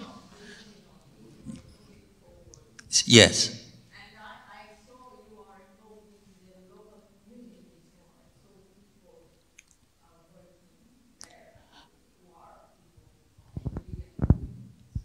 Yes, and also the, the, the DOA is doing a great work, a great job in this because they, um, they, they notice that they have a great potential. Of course, they already know, but now uh, with this new project, they, they are taking uh, effective part of this, this project. So we are, we are really happy of this collaboration, and we, of course, are looking for also collaboration in, in, in, uh, in Europe and with other archives, of course. Absolutely, collaboration is the key word. and I'd like to thank Andrea for showing that uh, slide with a map of uh, the part of the colonnaded street of Leptis Magna, uh, where the Great Nymphaeum uh, was located, showing the late antique development of the city, uh, which is something that is really important because unfortunately we all know that in past excavations, not much attention was paid to the late antique and later phases of cities, while the focus was mainly on the Roman imperial phases. So it's really important that at least we've got that kind of documentation available. I was just wondering so you mentioned that you have uh, more materials showing the late antique phases what kind of materials do you have from which part of the city? So um, mainly, mainly uh, the um, all the, the, seven, the Severan complex. So the, the area of the Forum Severianum and, uh, and uh, mainly the, the Severan Forum, but also the one, important thing uh, is to because not, not always is the drawing is, is clear in, in, mm. in terms of uh, stratigraphic uh, uh, methods because sometimes right. In, during the 30s, you know, there are, there are general plans with, okay, they are indicate different walls, but a help, a very helpful hand is looking at the uh, excavation daily reports made mm uh, weekly. So if you compare the date of these drawings to the excavation daily reports, you can really construct the phase of, uh, uh of the excavation and the phase of the building, of course, you, if you are lucky. But merging together these, this different data, it's, uh, it's, it's the real potential. So, of course, but it's, a- it's a lot of work because uh, uh, you have to, to, to, to understand the, the excavation reports and the match with the, with the, with the drawings, if they match, of course. Yeah. yeah, you always have to combine together different types of data to try and get. But we know how important was, for instance, the plan of the Byzantine and the late antique phase uh, built uh, uh, in the theater, for instance. But you can imagine if we, we have other data related to other different different uh, um, areas, such the, also the Severan Harbor uh, for the Islamic period, for instance, late antique Islamic period. no, absolutely. I'm, I'm just talking uh, for free, Sure, freely, but just sure, sure. To, to make some examples. This is really important. And I think also uh, we have to consider the issue of the movement of materials in the late antique and later phases as well. Thinking, for instance, of the inscriptions. Uh, for example, some recently published studies, such as an inscription which for a long time was thought to belong to a Flavian arch of uh, unknown identification that in a very recent study on the Curia of Leptis Magna was potentially attributed to the facade of the building. And so, and that shows how uh, these, these materials moved because the inscription itself was found quite far away from the Curia.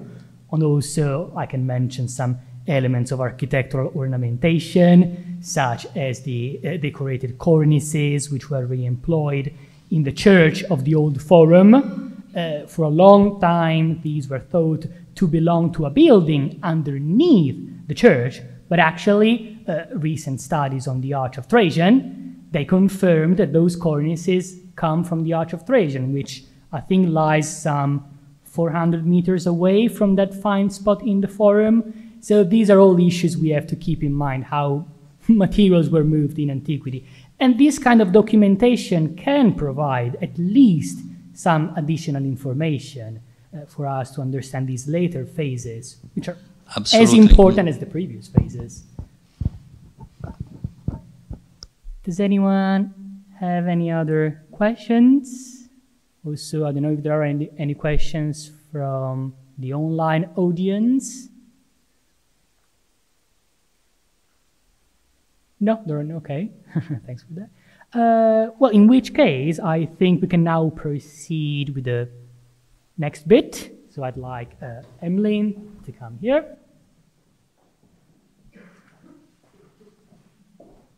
Yes, so before we move on um, to David to wrap up today's workshop, um, figuring out where my mouse is, um, we're very, very lucky to be able to share this next um, small section of the program with you all um, and, and to those online as well. Um, and in particular, knowing where we are now, we're even luckier to have uh, this next portion of the program. We've already heard um, from Caroline and from various others about the incredible legacy that Joyce Reynolds left uh, in her wake, centered not only around her work in North Africa, but also elsewhere in the Mediterranean, from groundbreaking um, research between Aphrodisias and Rome, uh, innovative use of published texts in translation, and, and of course, um, something that we'll hear about a woman who broke countless gender norms, um, paving the way for so many brilliant um, female scholars to follow in her path. And of course, these memories remain strong in her mind, as we will hear shortly. And just before she passed away, um, just over a month ago, our former chair of faculty here at the BSR, Rosamond McKitterick, spent some time talking with Joyce in her home. Um, and this conversation, to me at least, uh, vividly illuminates her time here at the BSR post war, in this immediate post war era, when Joyce had just arrived in Rome um, and shed some really beautiful light on her character uh, and her humour and her incredible legacy. So I'll play this, this brief interview uh, and conversation between Rosamond and Joyce now um, before David wraps up um, our workshop today. There was a You might need to turn the as far as volume up, I think, for those in the back.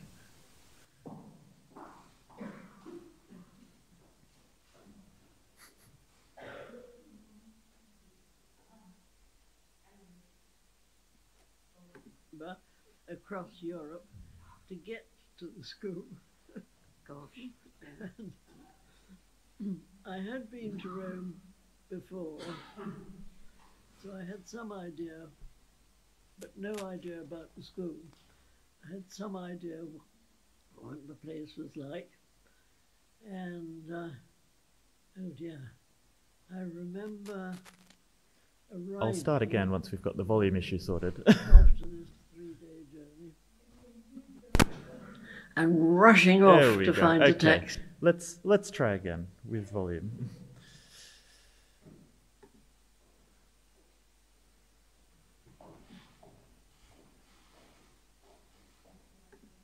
There was a three day journey, as far as I remember, across Europe to get to the school. Gosh.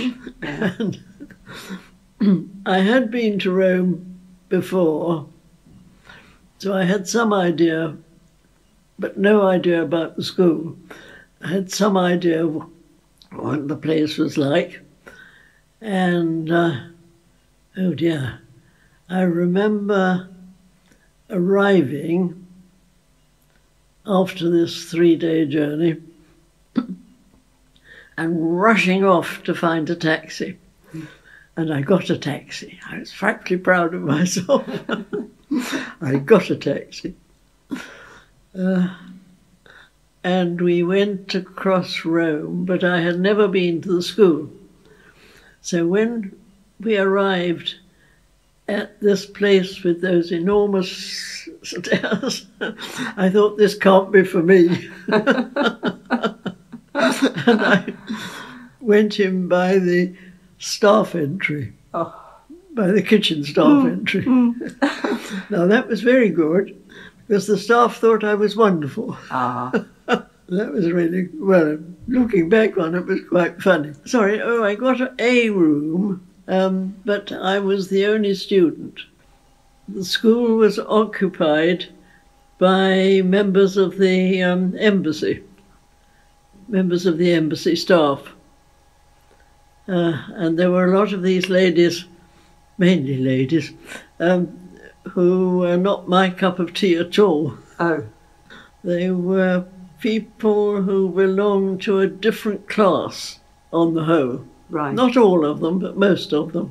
One or two of them didn't mind uh, or were quite willing to, um, perhaps quite happy to walk about um, the town with me and be told what I could remember about it. but on the whole, they were not uh, not interested. And um, the staff, the embassy staff, thought I was a bit, uh, bit off, as it were, all except for the ambassador's secretary's secretary, because I would take her dog for a walk. Having this dog for a walk was a great advantage, because all those men who wanted to flirt with me all those men who wanted to flirt with me didn't like the dog. and the dog, I don't like dogs, but uh, the dog, because I took it for walks, the dog thought I was lovely. Ah. I had some project um, for which which I was going to work on in Rome. And when I got there, I found there was, I can't remember if it was another student, but anyway, um, there was somebody else working on this subject, which I suppose is something that always happens to. I went, I can't remember really, but I think I went just um, to learn about Rome.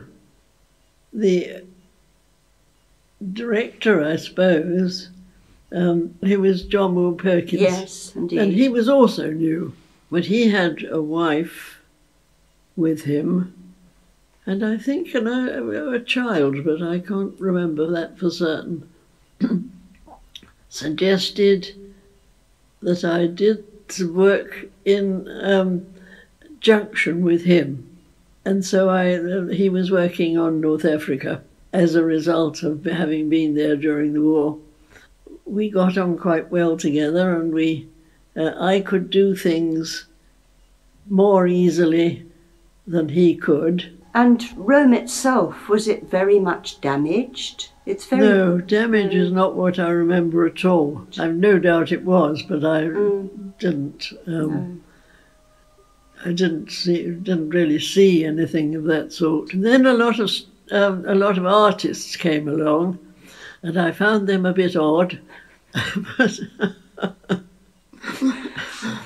but somehow or other we managed mostly to get on together. The director was going out to Rome in the vacations. Up to up to Africa. Yes, I see. Uh, and um, almost immediately, Jocelyn Toynbee came out for the uh, vacant vacancy vacant. Yeah, Um, the vacation. Yeah. And um, it was convenient, helpful um, for people, particularly women, to go together. Uh, so I went together with Jocelyn, who could get into things that I couldn't have got into. um, there were there were places where you wouldn't normally, normal visitors wouldn't go, and Jocelyn did. Yes, but also she had a reputation already by that stage. Right. And they were quite uh, willing to Right. uh, Yeah. have somebody of this quality. Yeah. that was wonderful because I got into a lot of places that um, I wouldn't otherwise have seen. I got into bits of the um, Vatican that I probably wouldn't have got into by myself. Had you learnt about epigraphy already Oh, I in see. Oxford?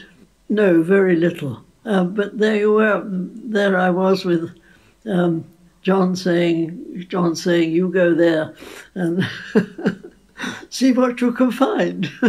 I found uh, the the staff, not the staff of the school, but the school has um, or had a um, tennis court, and, and um, that was used by the um, staff of the embassy. And I can't remember how this happened, but um, I got to know some of them. And that was rather helpful because they had weekend tours to um, interesting places Ah. that I couldn't have got to otherwise. So there was just two of us in there most of the time. Uh, but the librarian, librarians, I think, um, were thankful, as it were, to have, um, st- have somebody come in and read. When you got back to England, were you there for what two years altogether? Or Um, yes, I was there for Gosh, two years. amazing. And then you went straight into teaching once you got back. Well, then I um, applied for a job in the only job seemed to be um, on uh, going at that stage. Um, I applied for it, and there was a great fuss because the man in charge of um, Roman studies was uh, anti-woman, very anti-woman, and I converted him. Well, he never had a, a, a woman who's. See, I worked during the war, and in the war, during the war, you you worked, as it were, and whatever they said, you still went on working. Yes. and um, he'd never met anybody like that. so when I um, just went on doing things, uh, he was rather startled at first. I did my bit for women. He ran the um, ancient material classes um, in uh, Newcastle and around Newcastle.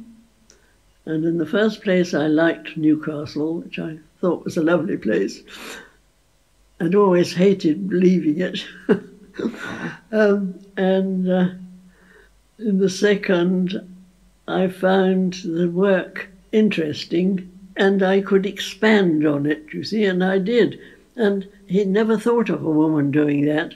He was very cross initially. What's she doing this? um, and then he found it was rather useful. So in the end, we were quite good friends. oh, that's wonderful. well, I think everyone has since discovered that you, you generally do do wonderful things, so that's terrific.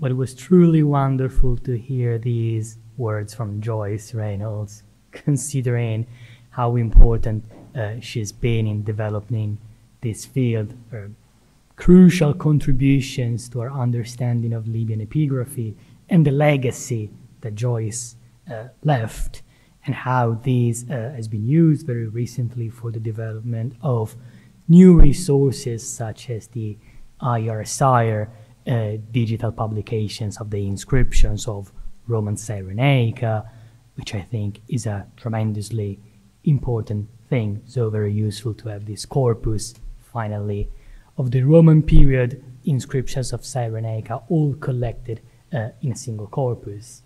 So this was really wonderful. So it is now time to wrap up, and we have a general conclusion about the workshop and about Tripolitania, its past, present, and future.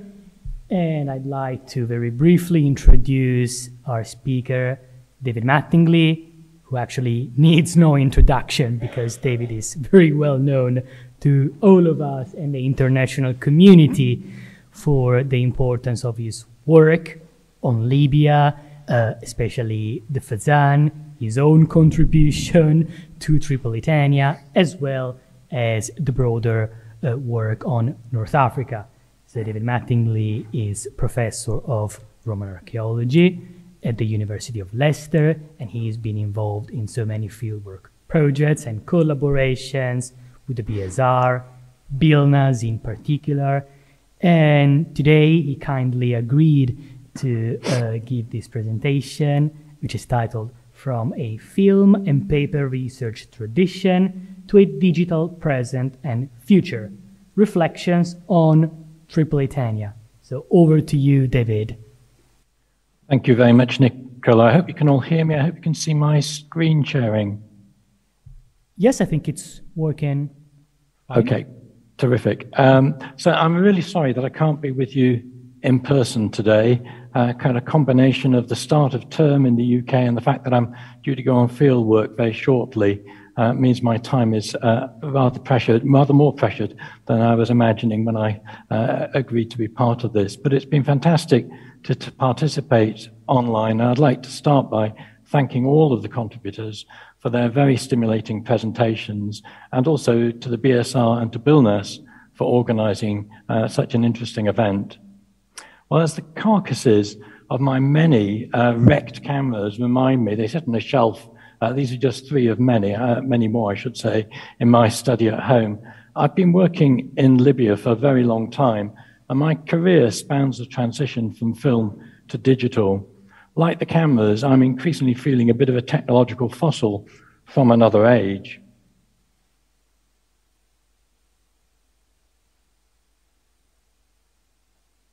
So I think there were two key uh, objectives of the workshop this morning. Firstly, to emphasize the urgency, importance, and potential of archive work at this time.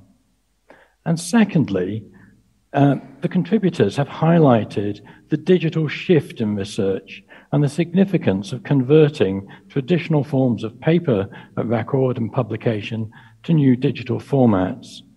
IRT is a superb example of how the digital version can enhance the, uh, uh, the print original by bringing supplementary material uh, into the corpora, allowing more imagery, for instance, text searches, and so much more. We've also uh, been reminded of the enormous contributions of Joyce Reynolds, and it was such a pleasure to hear her voice uh, again just now. IRT 2021, of course, is a great memorial to her work. I'd like to pay my own tribute uh, to her, particularly for her support of young researchers entering the field. I still have an extraordinary, vivid memory of the first letter I got from Joyce after I'd braved up the courage to send her a short note that I was working on uh, that touched on epigraphic matters. And the note began, Please don't see red when you see how much red I've put on your typescript. And in truth, there were more of her words in red than mine in the typescript. But it was a, a tremendously useful uh, and important lesson for me in how to do rigorous research, and the first of many times on which I consulted her and benefited from her knowledge and, and wisdom. Of course, it's not just BILNAS and the BSR. We're busy on such uh, projects, and we've uh, been reminded about the, the, wonderful work that's going on between Italian and Libyan colleagues at the moment uh, by Andrea Zocchi's presentation this morning, for instance. In concluding the workshop, though, I hope you'll forgive me taking a slightly autobiographical perspective. My research career over 40 plus years now has spanned the great transition from film and paper records to digital by default projects. My main fieldwork in Libya took place from the late 1970s into the 1980s, and most of the important publications on that work uh, appeared in the 1990s.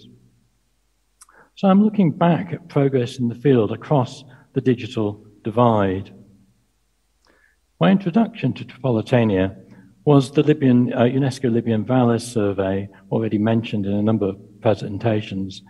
And there are important paper and film uh, records that are currently being uh, catalogued for the BILNAS archive. And we hope in due course to make more of these available uh, in digital formats. There's lots of paper forms, black and white prints, color slides, and so on. It's important to emphasize that that survey used uh, fairly primitive mechanical methods, uh, mechanical theodolites, uh, levels, plane tables, tape measures. Um, we, we lack the modern digital uh, recording tools of, of today. And our use of aerial photography um, was uh, achieved by the rather hazardous method of uh, literally flying a kite and, in some cases, crashing the cameras uh, suspended thereon. And we had no way of checking the quality of, of the pictures that we'd taken until we were back from the field and had had them developed in the lab. And that black and white photo in the middle at the top of Gerrit Al Garbir is uh, an example of a photograph that was so nearly perfect, but not quite. When we were surveying in the pre-desert wadis, we had no decent maps um, and only after a few years did we start to acquire the first uh, very low resolution satellite images uh, from which to, uh, to construct those maps. So, in most of the years of our survey, a basic task of the recording teams was first to rather slowly and painfully uh, construct a map of the wadis that we were actually trying to uh, then plan sites uh, within. The survey, for instance, at the bottom left of this uh, slide, took a team of about six of us, as I remember, about a week to accomplish. Now one could do a much better map, I think, including uh, capturing the fine detail of the individual site components in rather more, in rather more detail than we managed in that survey uh, in the course of an afternoon. So these are just a few of the details areas, and you can see the quality of, uh, of, of, of detail of the, the archaeological sites that we've given numbers to that can actually be drawn directly from the satellite imagery today. My more recent engagement with Tripolitania uh, has been through co-directing the Endangered Archaeology uh, of the Middle East and North Africa project uh, with colleagues from Oxford and Durham and also local partners in 20 MENA countries. This project started in 2015 and the database now contains hundreds of thousands of sites. The project involves both systematic documentation of sites of all period and identification of threats and damage occurring to them. In Libya, for instance, one striking example of how we can use this data uh, concerns the Islamic Sufi shrines, a high percentage of which have been damaged or destroyed since 2011. Another benefit of such a large data set is that we can start to look at major causes of damage. Looting, vandalism, and conflict grab the media headlines, but these uh, sorts of damages are, to be honest, in a minority.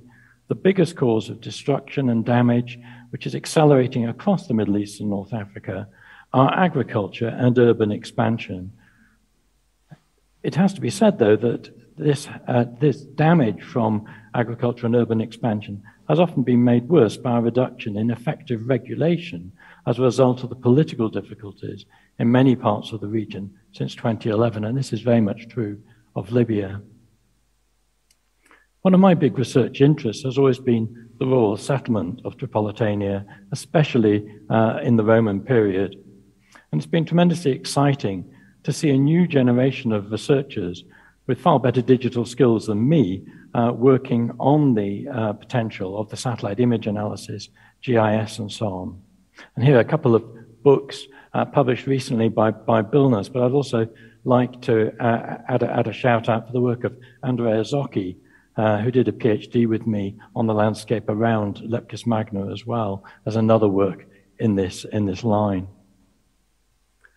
When I was responsible in the late 1990s for compiling the Libyan map sheets for the Barrington Atlas, this work was still done in colored pencils on tracing paper with uh, handwritten labels uh, added to these multiple sheets before being sent off to the printers. It involved, for me, a, a somewhat desperate uh, attempt sometimes to locate many imprecisely recorded sites. And overall, looking back, I'm amazed at how relatively close many of the mapped locations have turned out to be. It was almost impossible on a non zoomable map to re- uh, record adequate detail of rural settlement, however. And at one level, the Barrington Atlas is frustratingly a map of places, a set of maps of places uh, with known ancient names. With the advance of GIS, satellite uh, coverage, and zoomable uh, digital formats means it's much more uh, feasible today to map all types of settlement and sites of given periods, if they're visible on imagery or if their coordinate locations are recorded. And it's particularly important that more and more of this data is becoming available in open data sets. As noted, projects like EAMENA actively, uh, are actively building a large open data set against which modern urban uh, expansion and infrastructure projects or changes in farming patterns can be assessed. At the moment, a member of the Leicester team, Nichole Sheldrick, is leading work on automated change detection to try to improve uh, our, our advanced warning of damaging impacts in the broader landscape uh, context. That's a practical aspect of how we may use the new data, but I want to also ask how we may maximize the research potential. And to do this, I think we need often uh, to have uh, multiple data sets that we can link up So we need to think about data at different, uh, at different scales of analysis. Um, these might be small localities, these might be uh, individual regions like Tripolitania, or it might be uh, the totality of that vast expanse of Maghreb and Sahara that we can see on this map. Crucially, I think we do need to go beyond national boundaries, uh, and one of the one of the limitations clearly with resources like IRT is it is simply limited to the Libyan part of a, of a larger territory. So just to finish off with a, a few examples of the sorts of maps that uh, ought to be possible to produce from digital data sets, although I, would emphasize that the maps that, that follow are to some extent fairly traditional maps compiled uh, by me with the assistance of Martin Sterry um, in, in, from uh, available data, both published and digital. But I hope they will illustrate some of the potential of using data at different scales of analysis. So this is a map of ancient olive and wine presses across North Africa. And I think one can see the, the importance of Tripolitania, the density of um, material in Tripolitania in this map, but also the, the really huge scale of production that was achieved in parts of eastern Algeria and Tunisia as well. This map uh, is, is designed partly based on, on the data in IRT to look at the geographical uh, in, uh, aspects of the epigraphic habit in rural Tripolitania. One of the limitations of IRT, even though in its new uh, edition it's trying to incorporate that Latino Punic um, and uh, Neo Punic uh, data, data as well, is that it is very much limited uh, to the eastern part of what was a larger territory. And one of the things that uh, comes across, I think, in comparing uh, East and West, is that there are some significant differences. There's a much more emphasis on the strength of Punic language, very clear in this map, uh, in Eastern Tripolitania, compared to the West. We might also note uh, a somewhat signature of uh, Libyan language use uh, in um, the, the, sort of northwestern end of Tripolitania. And finally, uh, you know, I think it, if we if we extend our our, our, our comparison to look at other areas of, North Africa, uh, what also strikes me is how relatively un, uh, uh, unliterate the rural landscapes of Tripolitania were when compared to, say, the ter- territory directly around the town of Thugga, which we see at the bottom left, and the little blue rectangle at the bottom of, the, of my main map of Tripolitania shows the area of that map to bottom left, which contains more Latin inscriptions in a very, very small area than the entirety of rural Tripolitania.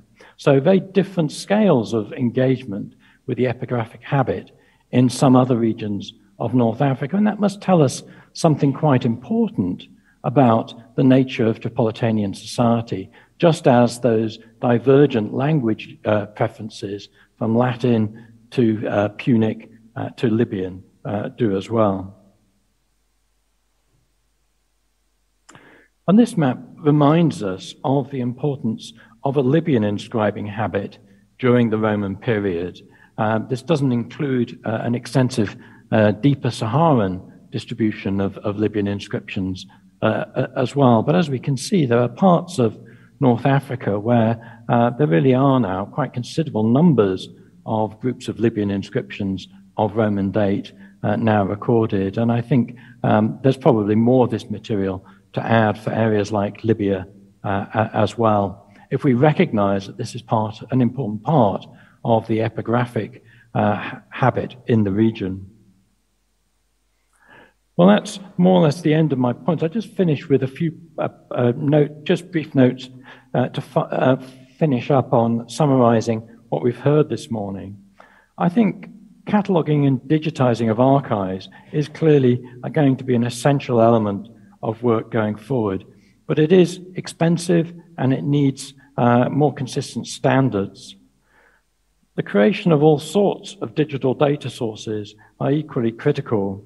Again, uh, a key requirement here uh, already mentioned by several contributors, is the need for open linked data um, and the compatibility of data sets to allow researchers to link between them. And I, I think, again, very clear from many of the contributions we've heard, we need to be investing in the younger generation who are techno- technically, technologically equipped to do this work. So lots of potential, but I think I'd also just finish on highlighting those challenges and risks. Firstly, open data and collaboration are fundamental, but they're not guaranteed. Uh, secondly, data standardization and linked data uh, compatibility um, are really, really important across uh, the BIRI institutions, across the Nahan institutions. Funding and time needed to do the work, uh, it's, it's, it's an enormous undertaking that lies ahead of us to uh, translate all the old records. And finally, and this is the real warning, digital obsolescence. Again, uh, in my uh, career, I've observed many resources um, ex uh, being expensively compiled since the 1990s and then sliding into obsolescence through non-sustainability going forward. So I think thinking about the sustainability of what we record, uh, record is also really important. Thank you very much.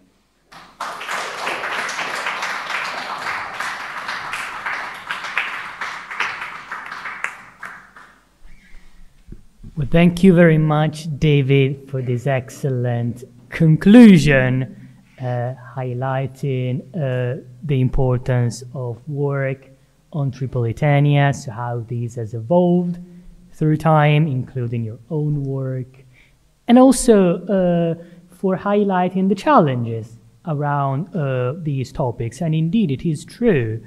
Uh, we have to be aware of uh, long-term issues the long-term maintenance and preservation issues of both physical and online collections and how this is done. And I think it's really important that we engage in this conversation with different stakeholders and uh, experts from different fields and different professions. So, for instance, when we look at archaeological archives, like the vast majority of the archives that we are dealing with, um, we mainly as archaeologists, uh, we don't have the specific knowledge to deal with these collections. So it is really, really important that we talk to archivists.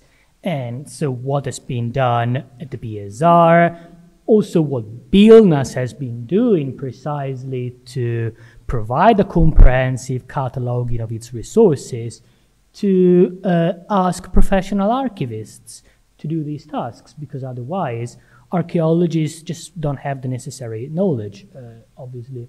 So yes, I think that these collaborations are really, really the key and to try and make the data as accessible as possible. And, and I'd like to point out, for example, some of the recent BILNAS publications, which David mentioned and some of which I also highlighted in my brief presentation. Uh, these are all available as online open access. So anyone can, can access them from uh, any part of the world. And so they are supposed to be accessible to everyone. So this is really, really important, I think. So we now have time for a final discussion about what David has been saying in his presentation, as well as some of the topics which were raised in the previous presentation. So if anyone has any questions or comments, please uh, do uh, join the discussion.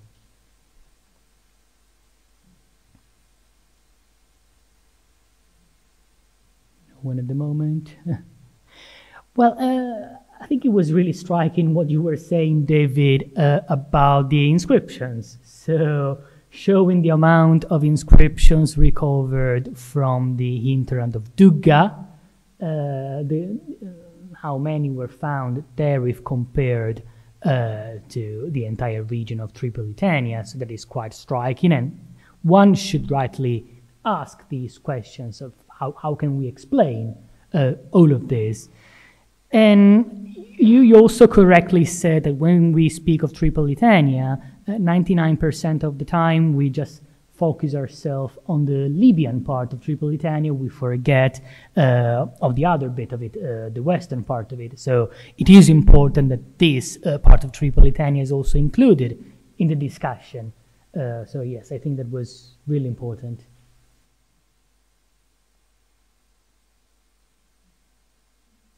Can I um, just sort of pose a question to others in, in, in the room? Because, uh, you know, from the presentations we've heard, there are clearly people who know a lot more about archives and digital resources uh, than I do. And I'd just be interested to, to hear people's views, particularly on that that last point about how we, how we avoid digital obsolescence with the sort of resources that we are, we're, we're trying to create at this time.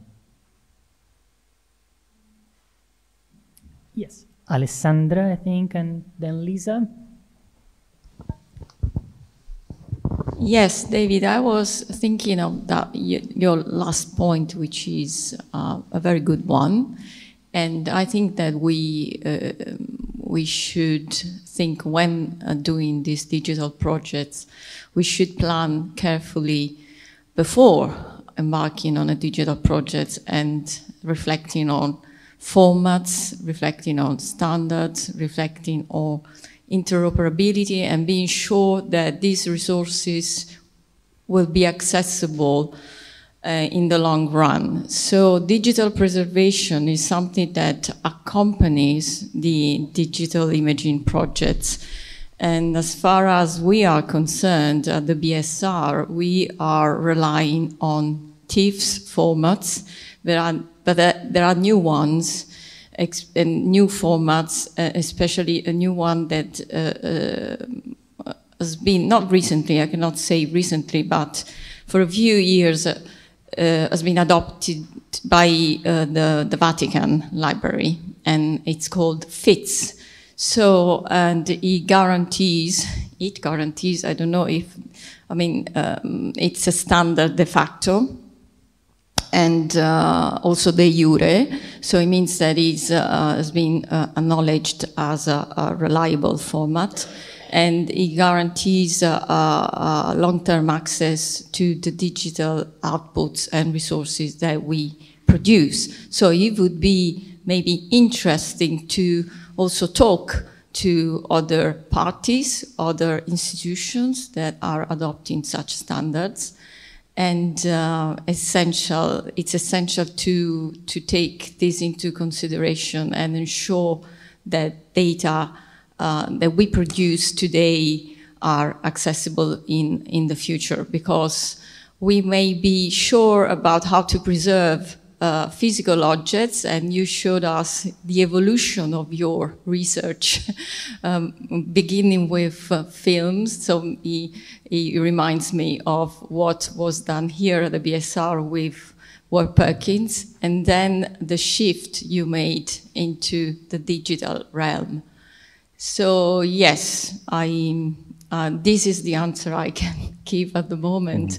But uh, exchange of knowledge, exchange of experience, and uh, could be uh, beneficial to, to, to all of us. And also looking a bit at other institutions, what they, they are doing with their archives and their resources. Absolutely. Thank you very much, Alessandra. Um, Lisa, would you like to say something? Yeah, yeah um, it's, a, it's a real issue. Um, as many of you know, I started a project called FASTI Online with IAC almost 20 years ago. And um, the rude shock, but I mean, I was prepared for it and working on it, was to get thrown off the University of Texas at Austin server with no um, warning whatsoever because our PHP was out of date and we presented a security issue. So the whole site went down for a month. It was moved thanks to the generosity of the Museum of London Archaeology Service um, to a server there. And we are now completely changing the platform. Um, what we're doing is, I think, what a lot of people are doing, which is going over to Arches, which is the Getty uh, GIS queryable platform. It's going to need quite a lot of work, quite a lot of additions of objects and things, but at least it is a platform that we know will be updated. And the problem with all of, I mean, you remember the 90s where everybody's brother in law was building them. And, you know, the, the Archivio Centrale, the, the what is it, the um, ICCD made all these fabulous databases that just died. I mean, thousands and thousands and thousands devoted to the work on these things that are dead and irretrievable. So it's a, a very serious point. And I think we have to look at these common solutions like Getty's arches, which are available. Absolutely. And I think Charlotte would like to add something. You're muted. I was, I was just going to say that this is, this has been, an, you know, a worry for 20, 30 years. That it was clearly, when we first all started going online, there was clearly a worry.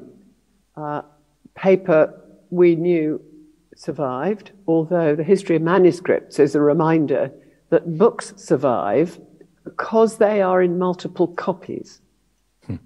not because the individual object is so secure. And I, I, think that's, that's quite an important thing to, to, to, to think about all the time. Um, but I, I, would, I would say that what we've gradually, I've learned a huge amount, uh, mostly from people much younger than myself, about how one does this. One has to be endlessly committed to a concept of standards. And back in the 90s and 2000s, we all thought, here's a liberating thing, I can do it my own way.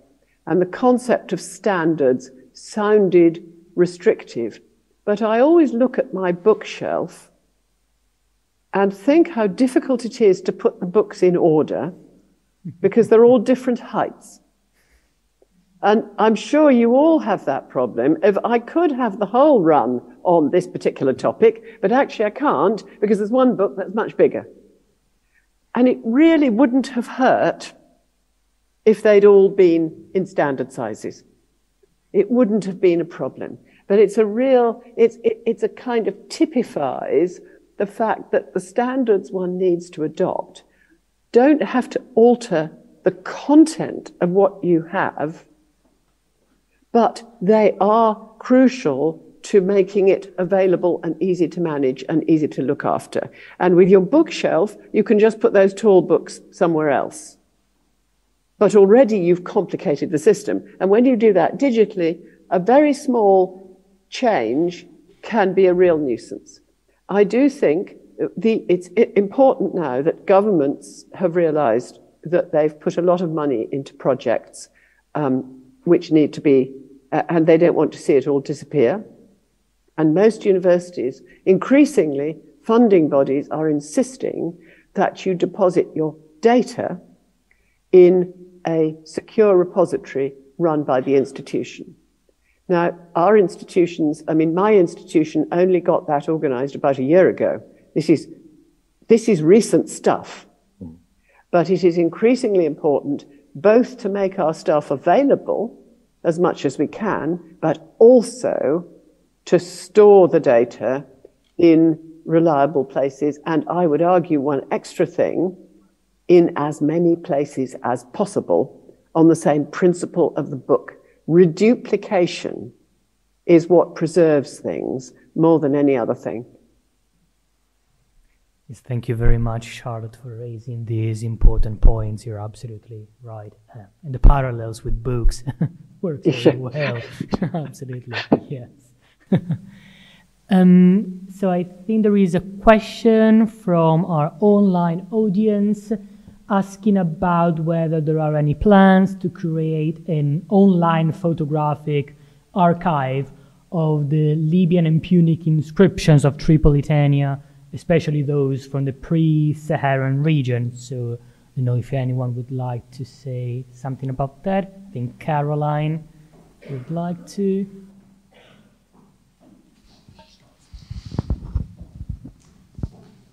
So there are plans afoot for an online platform of Punic inscriptions from Tripolitania, starting with the Neo-Punic material, but hopefully also leading to include the older Punic material and uh, the uh, Latino Punic and the Libyo-Berber as well.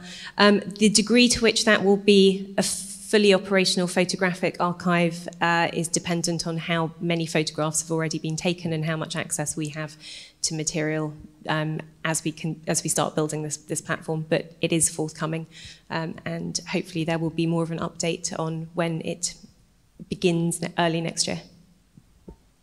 Fantastic. Thank you for the update. Do keep us posted on this. Anyone else has any questions or comments? I don't think we have any questions from the online audience. And well, everybody seems to be quite happy here in the live audience as well. So I think we can conclude here. Now, I would like to thank again uh, all the participants, all the speakers who contributed today with their wonderful presentations and the very engaging work that has been done around this topic.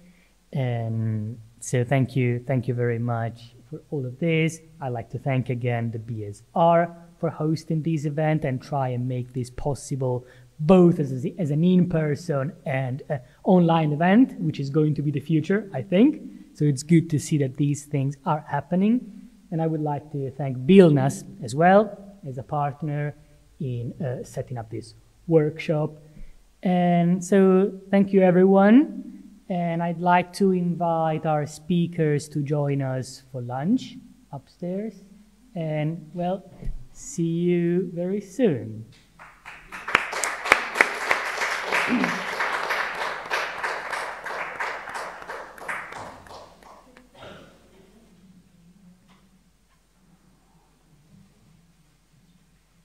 Buon appetito from London.